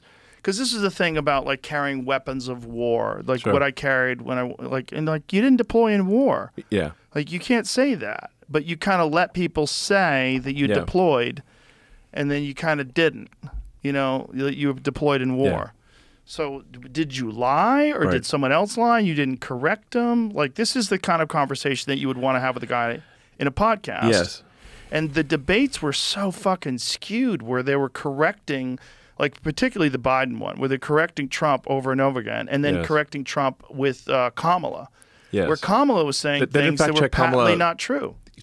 I mean, Kamala repeated, deliberately repeated the Fine People hoax and was not fact checked. Well, not only that, she also said that no troops were being deployed in a war zone. Which is, but I, I mean, I I know troops in war zones. And I'm like, um, That's and as vice president, you're privy. You, you know, you're like you you know you know the official troops and the unofficial troops.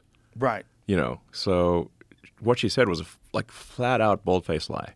Flat next, out. next level bold faced lie. Have you seen an, the video? An absurd lie. Of the troops that were watching it take place, and what the fuck are we? They're Yeah. watching it What in we- real time, why, why, making why- a video. We're here being shot at.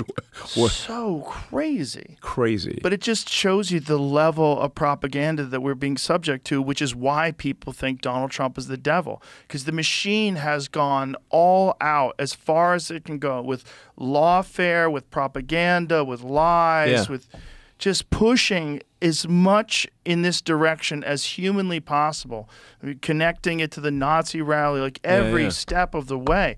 No wonder why boomers are like rabid. Like, you got to keep this Nazi out of office. He's a Right. fascist. Exactly. If, if, if all you if all you get is like if, if your entire exposure is, is to legacy mainstream media, um, so that all your information sources are that Trump is basically Hitler, um, then and you have no and your friend group is, uh, is, is has that same information, you have no countervailing opinion. Right. So then, then they they actually just think like Trump is, is Hitler, even though it, it's it's like a little strange he didn't do Hitler things the last four years. Yeah. You know, I'm like, if he's Hitler, why didn't he do Hitler things when he was president for four years? Right. Like the reason uh, you know we, we, we hate Hitler is because of uh, he started wars and did genocide, not because he was a snappy dresser. You know. Um, you know, and, and I'm like, uh, so w- tell me about the wars and genocide that Trump did. Right. Uh, I don't remember that. And he was president for four years. Right. So it's, it's insane. It makes no sense. Well, and also he's campaigning on stopping all the wars. Yes. It's like his primary concern. Exactly. The, war, the nuclear war. like Liz Cheney hate him Yeah. because they love war. Well, they profit off of it, They profit off of war. Yeah. Yes. which is insane. Insane. Yeah. And that this is happening right in front of everybody's face. Yeah, the yet- war, the war profiteers hate Trump, Yeah. which is fucked up. I mean, I mean, it's, it's like, like like we should be like, yeah, we, we, let's vote for the guy that the war profiteers hate. That Yeah. sounds like a great idea. it was the wildest thing when Dick Cheney endorsed Kamala and the left went crazy. Like, yay, Dick Cheney's on our side. Like, yeah, like I'm like, can we can we play all the all the videos where you said Dick Cheney was the devil? it's the craziest turn, the craziest like 180 I've ever seen in my life because there's no reason for it. Yeah, It doesn't make any sense. Doesn't make any sense. No logic to it at all. Just all of a sudden he's the devil. yeah. Or he's not the devil. Yeah, we- He's, he's, he's good. It's good that he's Exactly. supporting Kamala. Even Dick Cheney. You know? I mean, warmongers want want the the Kamala puppet regime because th- th- they will get more war. It's so strange watching all these Hollywood celebrities like step up, like, Yeah. and they think it's going to get them more movies or something. Like, that's what it is. If you know those people, Well, so many of them are I mean, just let me tell you, like- narcissists. Well, let me tell you how, how it actually works. There is, is what happens is, you know, these celebrities they, they get a call. Okay, they get a call from someone powerful in Hollywood, and uh, that person says, uh, you know, it'd be really really great if you endorsed uh, Kamala. You don't have to. It's up to you. But if you don't, they don't say it. They don't say it. But if you don't, you're just never going to get a call again. No more movies. No more concerts. But they ask, they ask, they'll ask it. it they- they'll ask in a really nice way. They'll ask, It'd be really nice if you endorse Kamala. This is important. and so they don't but if you- say if you- that if you don't, They don't make the threat. They don't need to. But everyone knows what'll happen if you don't.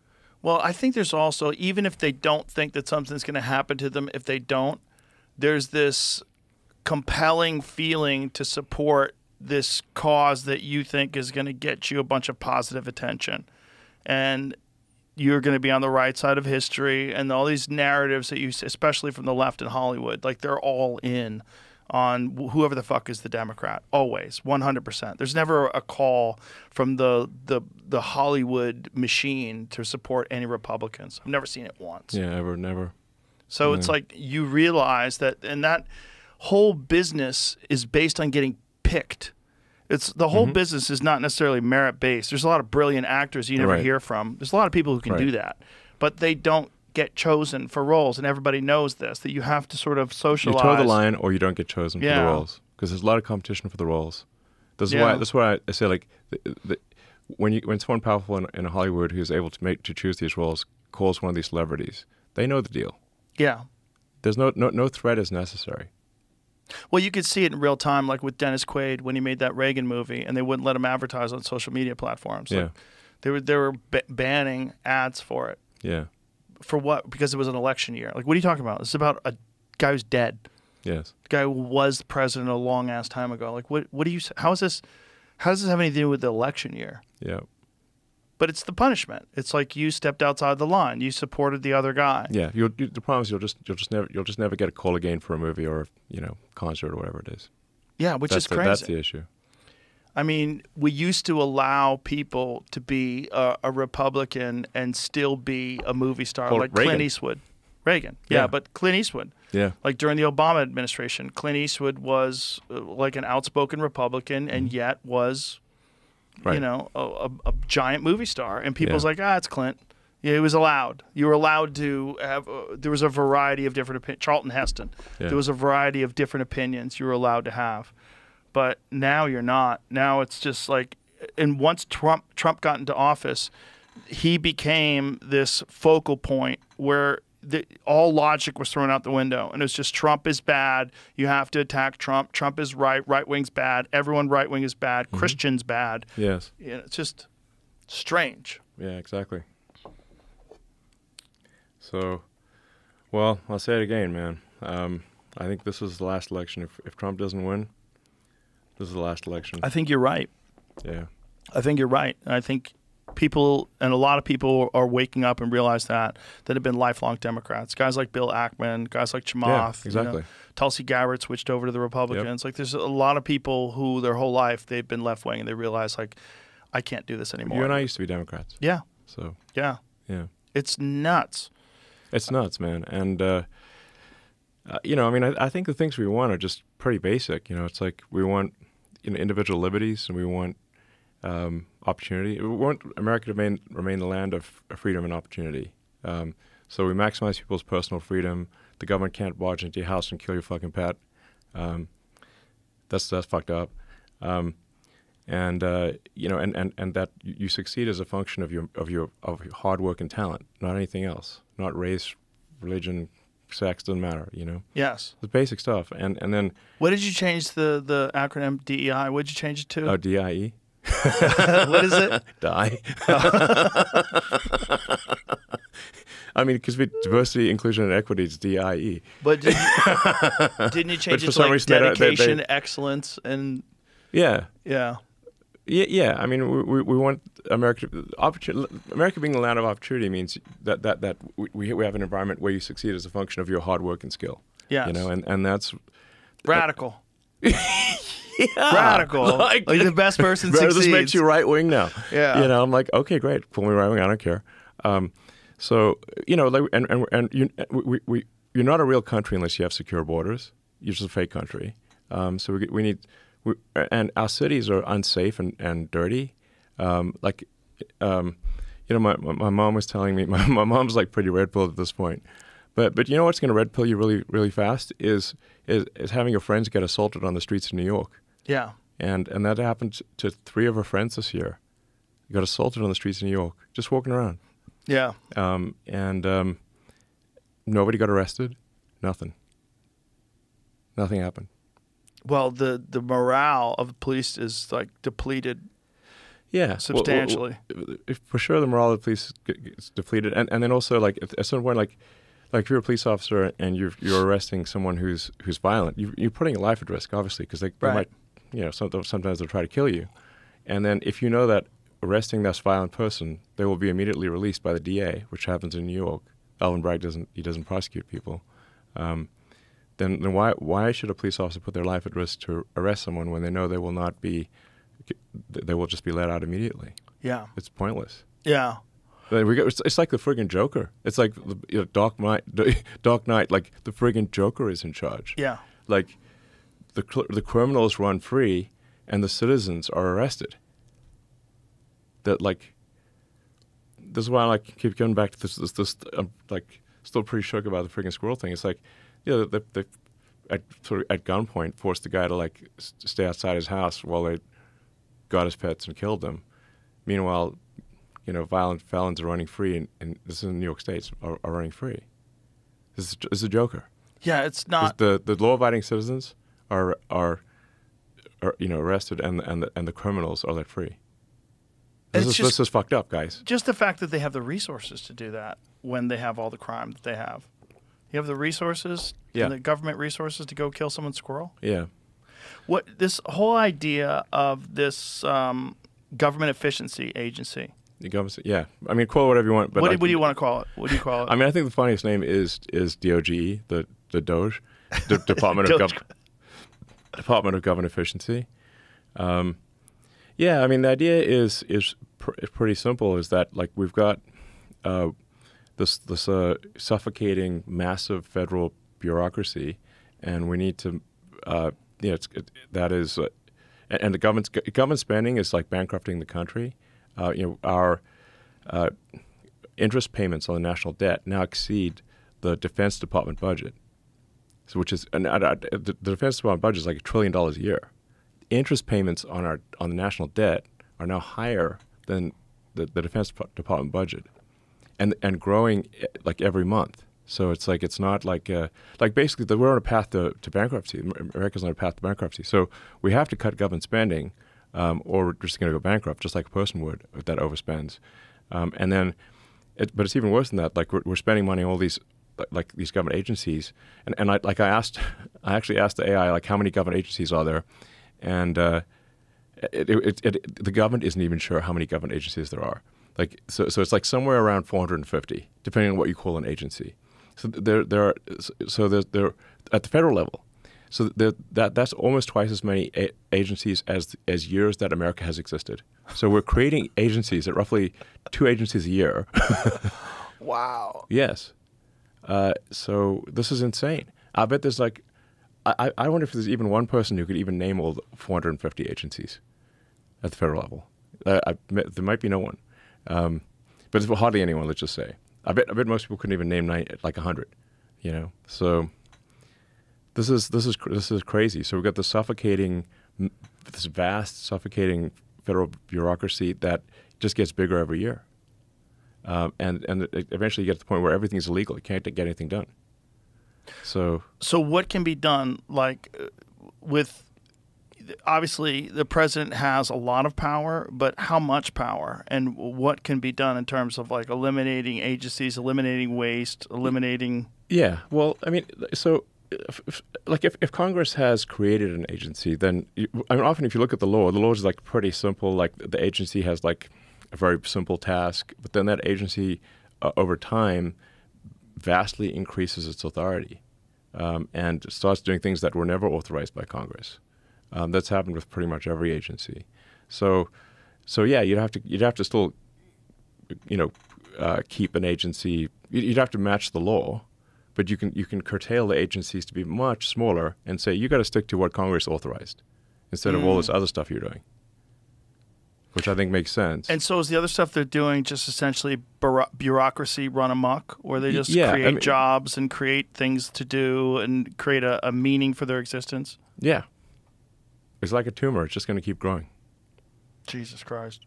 and and it's so.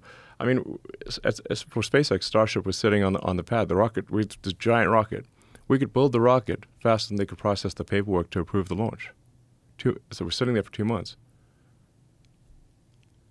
But do you think that they're doing that on purpose to fuck with you?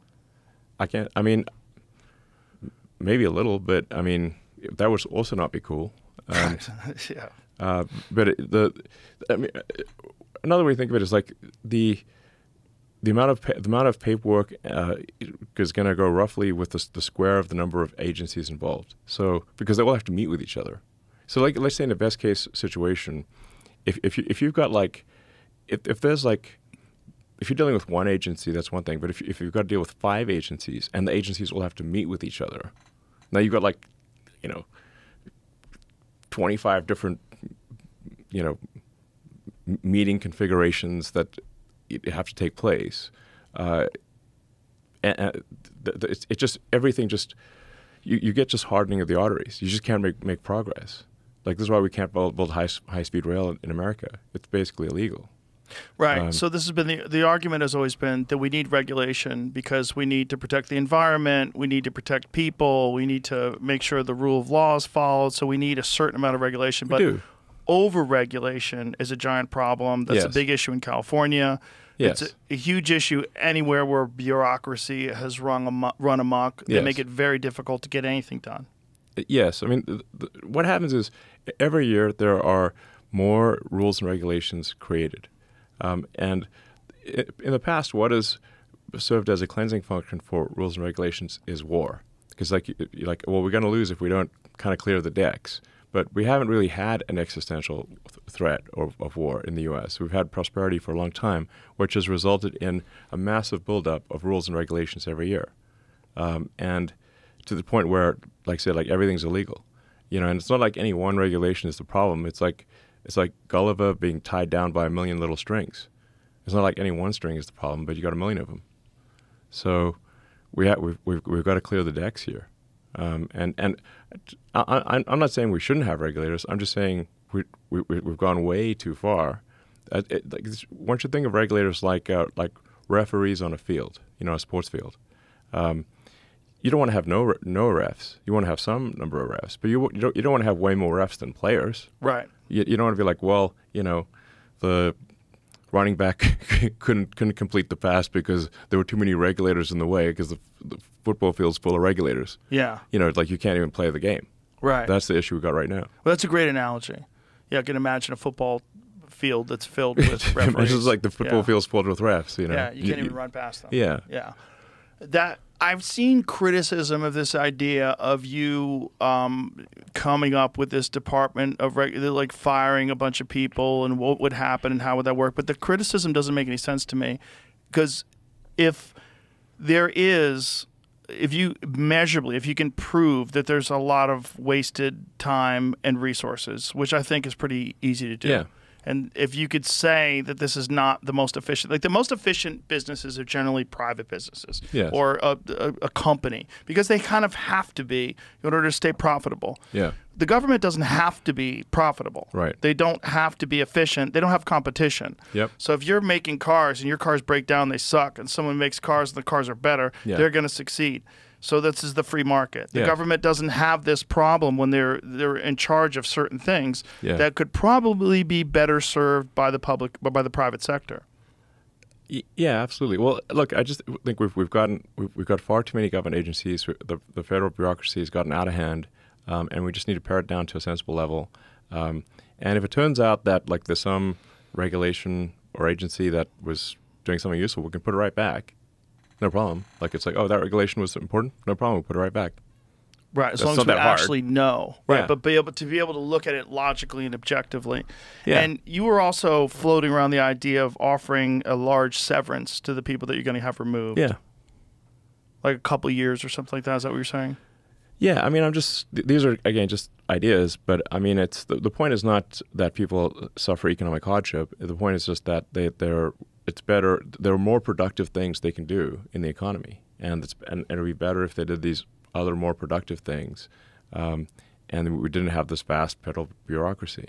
So so like so I was like, ah, you know, maybe like a couple of years of pay would be good.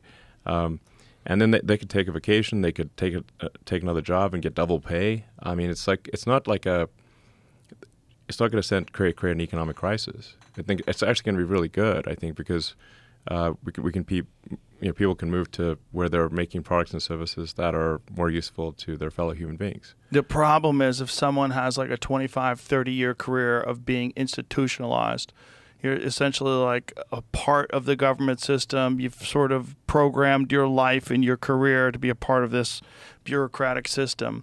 And then you're like, nope, you have to go out and compete in the free market. You're like, huh. That's that's scary to people. But you have to be valuable. You have to I actually mean- be valuable. Yeah. Yeah.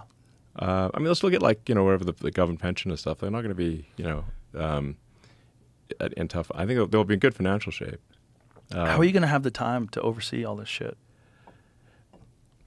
Well, I'm I'm, I'm pretty good at uh, you know, improving efficiency. I mean, um, I would say so. yeah.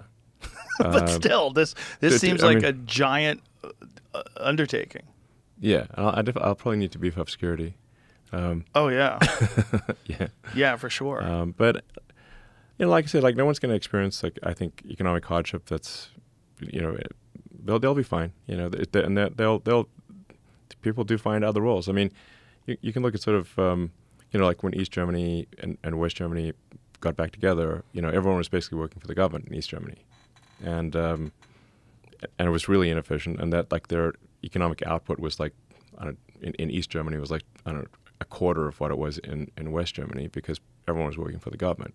And Right. The government's like fundamentally inefficient. So um, The best example is probably North and South Korea, right? yeah, I mean, like people are starving in North Korea, and, and South Korea is incredibly prosperous. Yeah, So and, and it's the same people, just different operating system. right. So, um, you know, it's just like you, you just want to move people from, you know, less productive things to more productive things. Um, ma- you know, because you can also say like in the limit, like let's just say let- let's consider the other direction where we moved a whole bunch of people that were in the private sector doing making goods and services, and we moved them into the government as regulators. Now they stopped making those goods and services, the, so the stuff they were making is no longer available. Now they're just being regulators. Like, is that a good thing? That's not a good thing. Doesn't sound good. No, it's not good. Doesn't So, sound like there's a real market for it. Like you're creating jobs that don't necessarily need to be there. there are all these fake jobs, Yeah. basically, um, and um, that doesn't make sense. So, I, I, look, we we got to do this because the co- the country's going bankrupt. Like, we if we don't take action, we're, we're our dollar's going to be worth nothing, and the, the interest payments, which are already twenty three percent of of, of 23% of all government income, in- going income taxes, tariffs, and everything, is just going to pay interest right now. And that number is con- continually rising. So if we don't do something, the entire government budget will be paying interest. There won't be money for anything. No, there won't be money for Social Security. There won't be money for Medicare, nothing. That's where we're headed. That's what bankruptcy means. Yeah, that's such an insane concept. Yes. Um, It's like, hello, wake up. wake up. And if somebody can tell me, can, can, can show me, like, pencil out the math show me how this works, I'd love to hear it. But, but I'm just like, listen, I'm looking at the numbers here, and I'm like, if we don't do something, America's t- toast. There won't, there won't be money for anything. Trump likes to talk a lot about a lot is tariffs. Yeah. What What are your thoughts on tariffs? I know that's very controversial to even people, economists. They disagree. Some Yeah. agree. Some think it's a good idea. Some think it's a terrible idea. What do you think? I think you need to be careful with tariffs. Um, like the, I mean, I deal a lot of, a lot with like supply chain issues. You know, uh, like like the global automotive supply chain for Tesla, for example, is incredibly complex. So when there are sudden changes in tariffs, then you're like, well, you, we've got a, a factory like somewhere else that's making a part that goes into the car. Now that suddenly, if that part's suddenly twice as expensive, it like messes everything up. You know, so um, so you you want to be uh, have uh, tariffs be predictable, um, so that companies can adjust their supply chain. I mean, I think I think companies are more than happy to uh, increase uh, manufacturing in America. It's just that you can't do it instantly. So if, if you if you if you put in if you if you put put up giant tariffs immediately um, and don't give companies a chance to uh, you know build factories in America, like because you have to you got to move atoms. Like you've got to build a building, you've got to install equipment, you've got to train people. Like that doesn't happen instantly. Um, so you just got you, you, want to have a, for tariffs. Uh, you want to have a ramp so that people, companies can adjust um, and, and and build the factories and train the people and get the equipment in place. Um, otherwise, just you, you basically just shock the system and it and, and it breaks or it, bad things happen. So I'm I'm against like sudden sudden giant tariffs because they they're, they're it's an impossible response if you've got to you know move a thousand tons of equipment. You know you can just in some cases collectively millions of tons of equipment. You just can't do that overnight. It's literally impossible. So I think we want to be thoughtful about tariffs um, and and give companies a ramp. I mean, I- I do generally agree that America should do more manufacturing. I'm a big manufacturing guy. I love manufacturing. So I've spent a lot of time in the factory. You've talked openly about the difficulties of manufacturing and how complicated it is, and about most people aren't really aware of something that's as complex as, like, say, building a Tesla. yeah, Uh, manufacturing, Manufacturing, is super hard and complicated. So, you know, like a lot of people just they've they've never been in a factory or they don't know where how thing how difficult it is to make things. Um, and they, you know, for a lot of people, I think just ketchup comes from the store. You know, like the store Right. like just has a like this is like people like for a lot of people who've been in academia or you know, for all these like sort of socialist communist types, like they've never actually made anything. So they they they they're operating on the premise that there's this magical horn of plenty that just outputs goods and services. And if someone's got more goods and services than someone else's because they took more from this magical horn of plenty, and I'm like, guys, there's no magical horn of plenty. The the there's there's no cornucopia. Uh, it's actually goods and services come from people working collectively, doing a lot of hard work to produce the goods and services that you like, um, and that you know, that you need. Um, so, But we've become very accustomed to these things happening overseas. I mean, America is still the second biggest manufacturer in the world, so it's not not. I mean, we still make a lot of stuff, but um, we could make more. Um, probably should make more. I think we should value manufacturing a lot more in the United States than we currently do. Well, it'd be very nice Um, if we were completely self-sufficient, like medicine. like there's a bunch of different things that get manufactured overseas. It was a huge problem during COVID because all the shipping was shut down. Yeah, I, I mean, you, you don't want to say like so. Th- there is there's a lot of merit to the economics of comparative advantage. Like like so, if you're completely self sufficient, what that means is that you, you make all the stuff yourself, and, you, and and and even if some other country is really good at making something, you still make it yourself, and which means you're going to have the inferior, more costly product domestically. Right. Um, like Soviet Russia. Yeah, um, like tr- trade trade improves prosperity. This is this is important. Um, so you, you you don't actually want to be make everything yourself. Um, and and you can you can run this like you can think of this thought experiment on a, on a sort of a a, a micro scale and or small scale, and then expand that and say where does the at, at what point does the thought experiment no longer prove to be valid? Now let's let's let's cons- consider the case of you as an individual. Imagine you had to do everything yourself. You had to farm.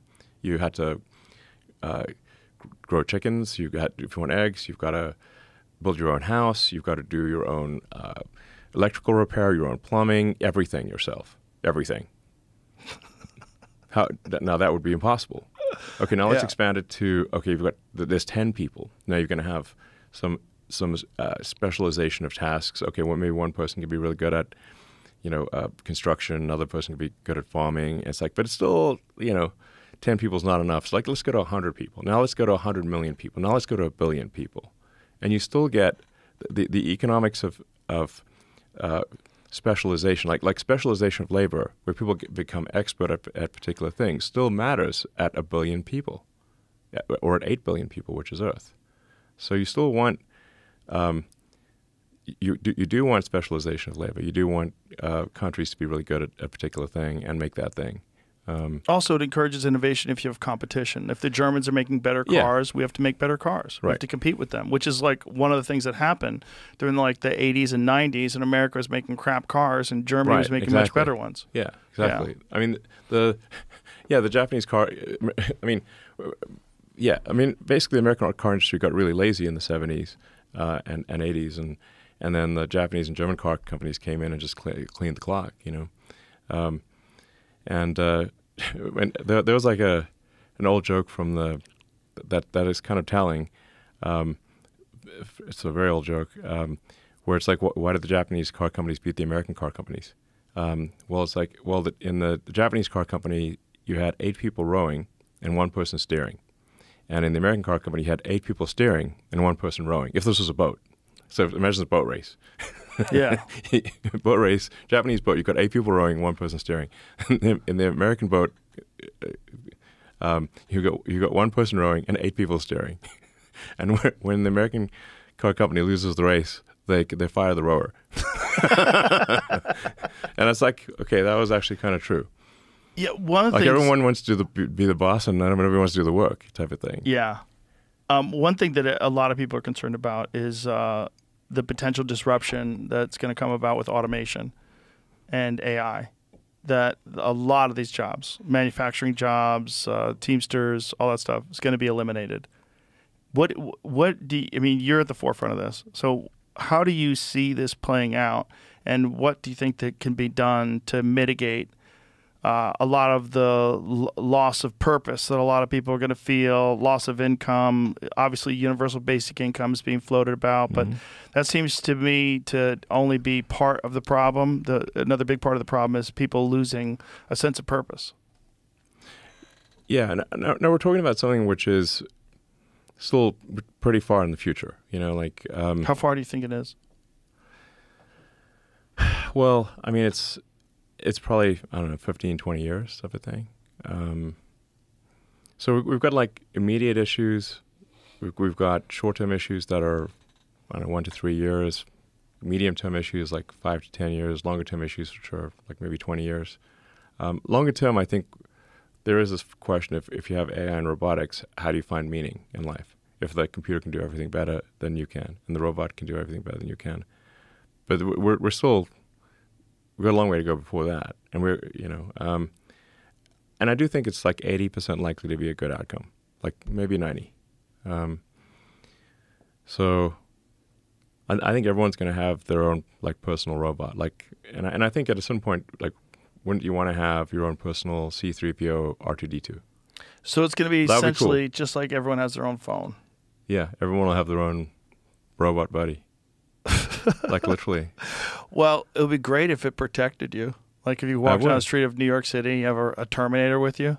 Uh, I don't know about the Terminator. Hopefully, we got to avoid. Like, we, we don't want this to be a, the plot of a James James Cameron. You know, we want more Right. more, more more Gene Roddenberry than than James Cameron uh, movie situation. But it would be fascinating to watch some rich person walk down the street of New York City flanked by two giant Tesla robots, Jack Tesla robots like that were there to protect you. but, yeah, but just fully robots. somebody fully robot there to protect you from a bad neighborhood. Yeah, That would be very interesting. I mean, this You is could potentially see that. yeah. Um, Restaurants would probably have no robot rules. You can't bring a robot.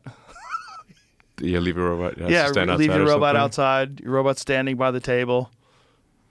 Man, the future's gonna be wild. It's gonna be wild. Yeah, Yeah, it's going to be really unpredictable. Like uh, I don't think. I mean, you probably have a pretty good sense of it, but I think most people don't understand the wave that's coming, and yeah. how it's kind of kind of completely drown society and change it forever. Yeah. It, I mean, it's we, we have, like I said, it's it's not like it's not going to happen like overnight, but it's twenty years from now. I'm like, I think it's still like twenty years from now. I think there's going to be more more humanoid robots than there are humans. Really, Yes. more humanoid. ro- Well, that's so crazy. Like, so that's like more guns. We have more guns than people in America. We'll have more robots than people in America as well. Yes. You have a bunch of old robots nobody wants anymore. I guess. um, early early versions or something.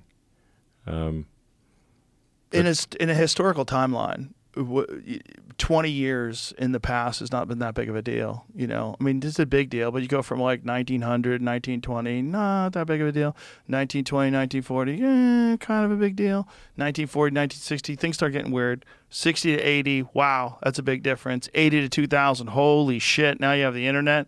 2000 to 2020, whoa, this is nuts. You have propaganda, social media, YouTube, streaming. 20 years from now, like, what are we even talking about? mhm. It's going to be that much of a shift. Like, it's all accelerating. And we're in the middle of it. So it's very difficult to sort of like feel it while it's happening because it kind of just feels like life. And you just get adapted to the changes. Yeah.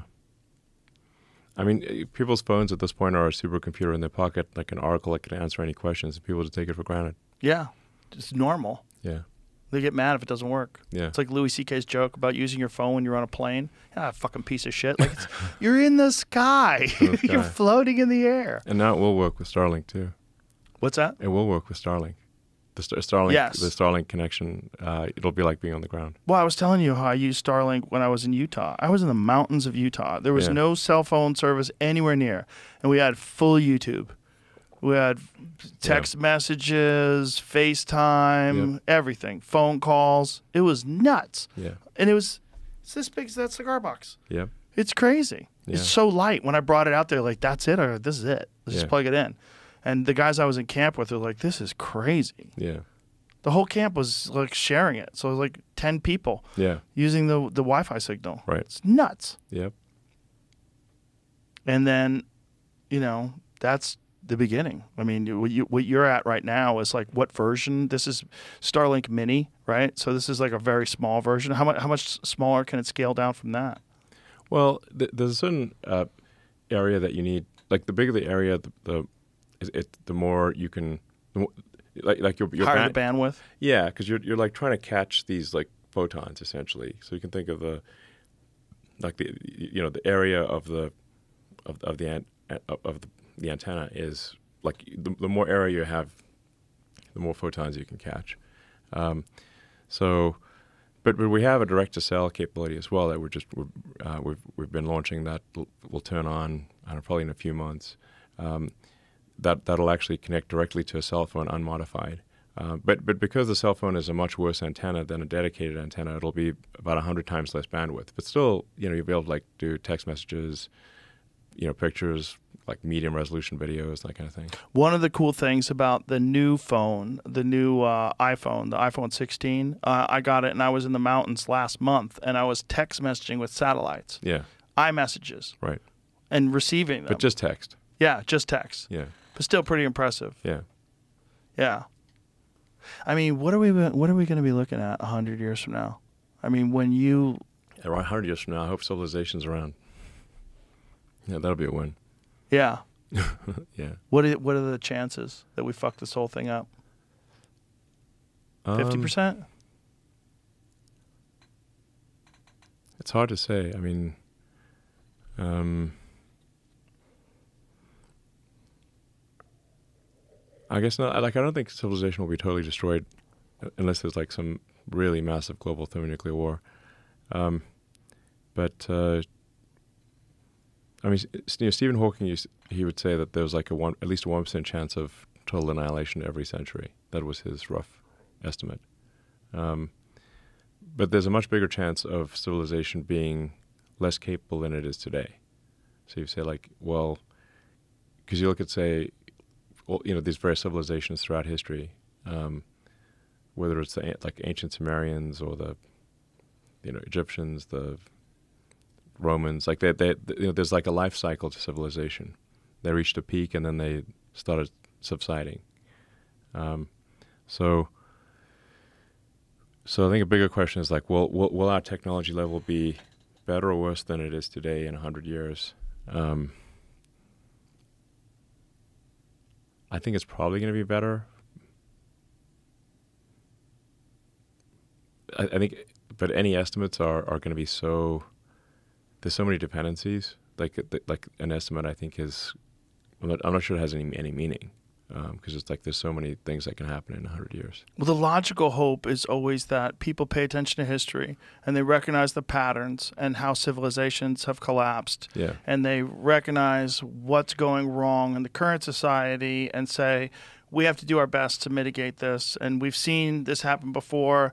Let's course correct and let's sort of manage what we've got here now and maintain what we've got here now because it's pretty extraordinary Yes. this is what we're hoping for with this election. This is what we're hoping for with the future is that people can see we are on a bad path and something can be done right now. And it might be the only moment in history where this is possible.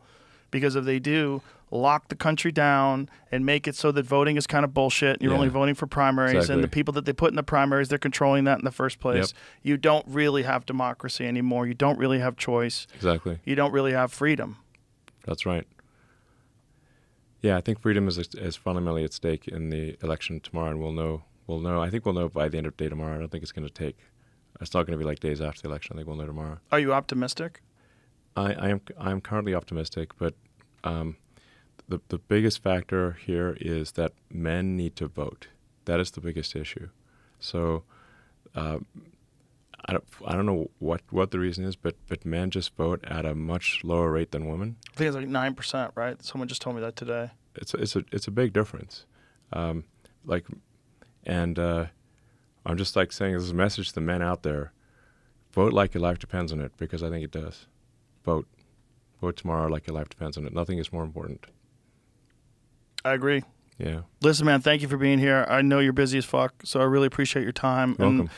again, I, I thank you so much for buying Twitter because I really do believe that you've changed the course of history. I, I really do think you've you've created a pathway where people can actually express themselves and actually exchange information that really didn't exist before. And I think it was dangerous. It is it is dangerous. Hopefully, I live long enough to see my kids grow up and people on Mars. I, Oh, that's That would that's, be that's cool. all I'm, that's all I'm asking for here. I don't think uh, that's too much to ask. yeah. Thank All you right, very well, much. Appreciate you. on. Thank you. All right. all right. Bye.